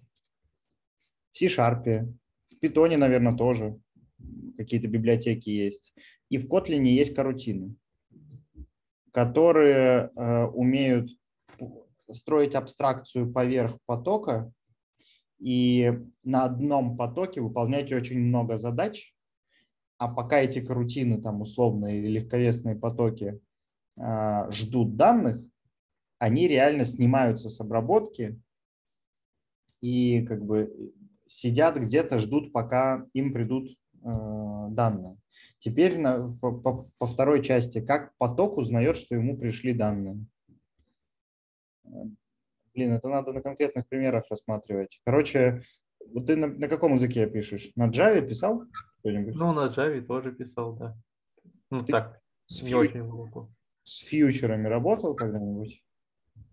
нет, с ними нет. Там, может быть, промисы какие-нибудь в каком-нибудь языке, там что-нибудь такое, а, какие-нибудь дефериды, там что-нибудь, какие-нибудь. Короче, когда мы хотим что-то обработать асинхронно, обычно мы по такому пути идем. Мы говорим, так, выполни мне асинхронно сейчас что-нибудь, и задача начинает выполняться в другом потоке, отличном от того, из которого ты это просил выполнить, а тебе возвращается некий объект, через который ты потом сможешь когда-нибудь получить результат. А, просто я думал, что, ну то есть я как думал, что да, вот у нас есть многопоточность, это когда мы именно выделяем отдельный поток на какую-то задачу, он там работает, читает, но он там занимает процессорное время. А я думал, что async, он работает по той схеме, что он именно просто как бы засыпает, как будто отключается. И вообще ничего не занимает. Никаких ресурсов процессора. И в какой-то момент его включают, и он такой типа, о, а мне что-то пришло. И если ему что-то пришло, он это отдает. Но вот вопрос в том, что если он заснул, как вот он понял, что ему что-то пришло, вернее, как он не пропускает то, что ему что-то пришло. Так вот, если бы это был легковесный поток, ну вот если, например, это async в C-Sharp, э, то а, это так бы и работало. Он бы не занимал, например, э, э, ресурсов процессорных. И главное, что этот поток мы могли бы отдать ну, реальный поток. Знаешь, э, будем считать, что async выполняется в легковесном потоке, который абстракция над настоящим потоком, А настоящий поток в это время не спит, он просто э, решает другую задачу. А спит твой легковесный поток. Но он же как спит? Он говорит, ну то есть сейчас, э, он передает следующему исполнителю некий callback, который нужно, нужно вызвать, чтобы он проснулся. Вот условно он делает так. Э, ты умеешь выполнять запросы к базе данных, тогда тебе я дам свой callback, и вот этот запрос, ты его выполни, а когда данные придут, ты меня вызови, а я пока усну. А вот. то есть у нас, грубо говоря, есть в потоке какой-то контролер, который именно видит, что данные пришли, и он в нужный момент просто включает вот тот поток, к которому эти данные должны прийти. А это не контролер, это просто другой поток. Ну да, понятно. А, но там, там все сложно. Я почему сказал про HTTP, что реально вызов синхронный? Ты же как? Ты пришел какой-то там обработчик REST запроса.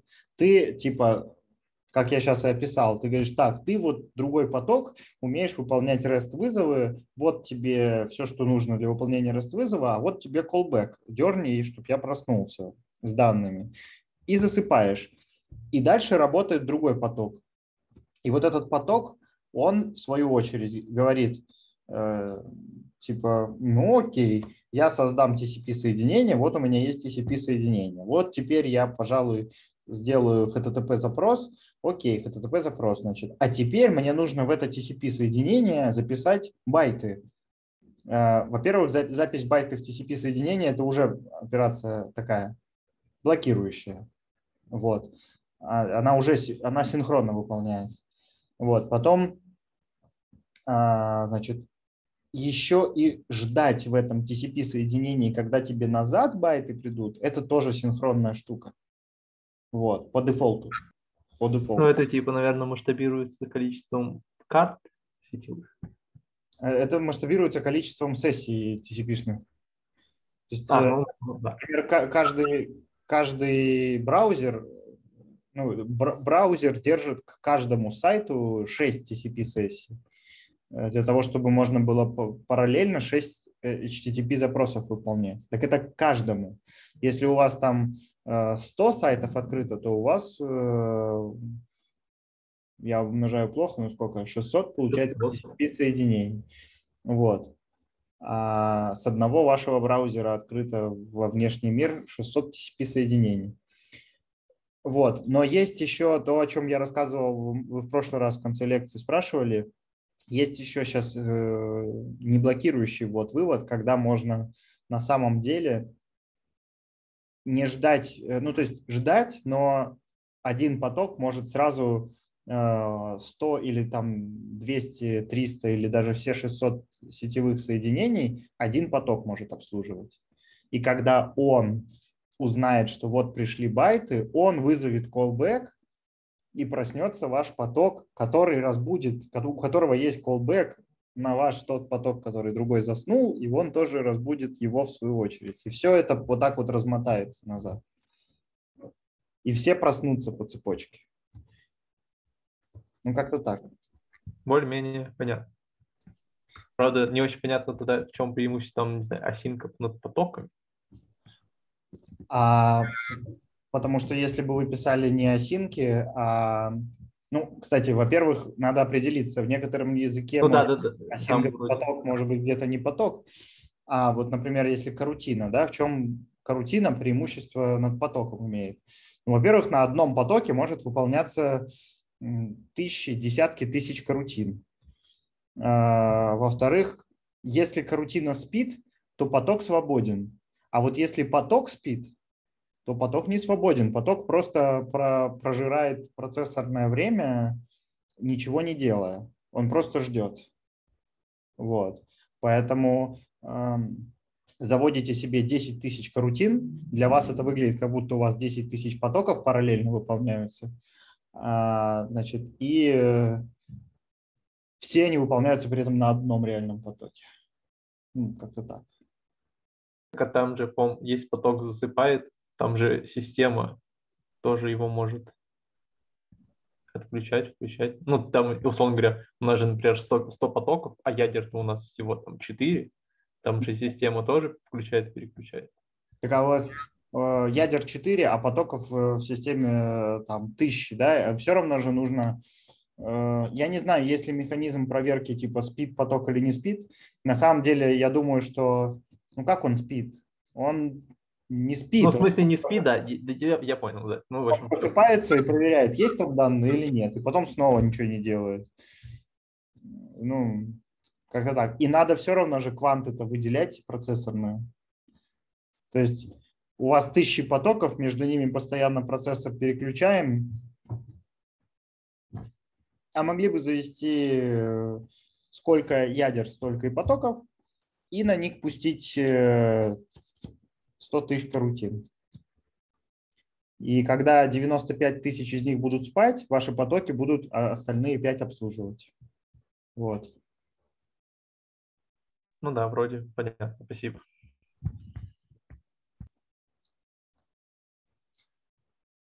Еще есть у кого-нибудь вопросы? Там уже людей-то не осталось. Только те, кто зависли, наверное. Я думаю, что нет ни у кого больше вопросов. Так что, в общем, спасибо вам. И до четверга. Спасибо. Все, оставим. До свидания.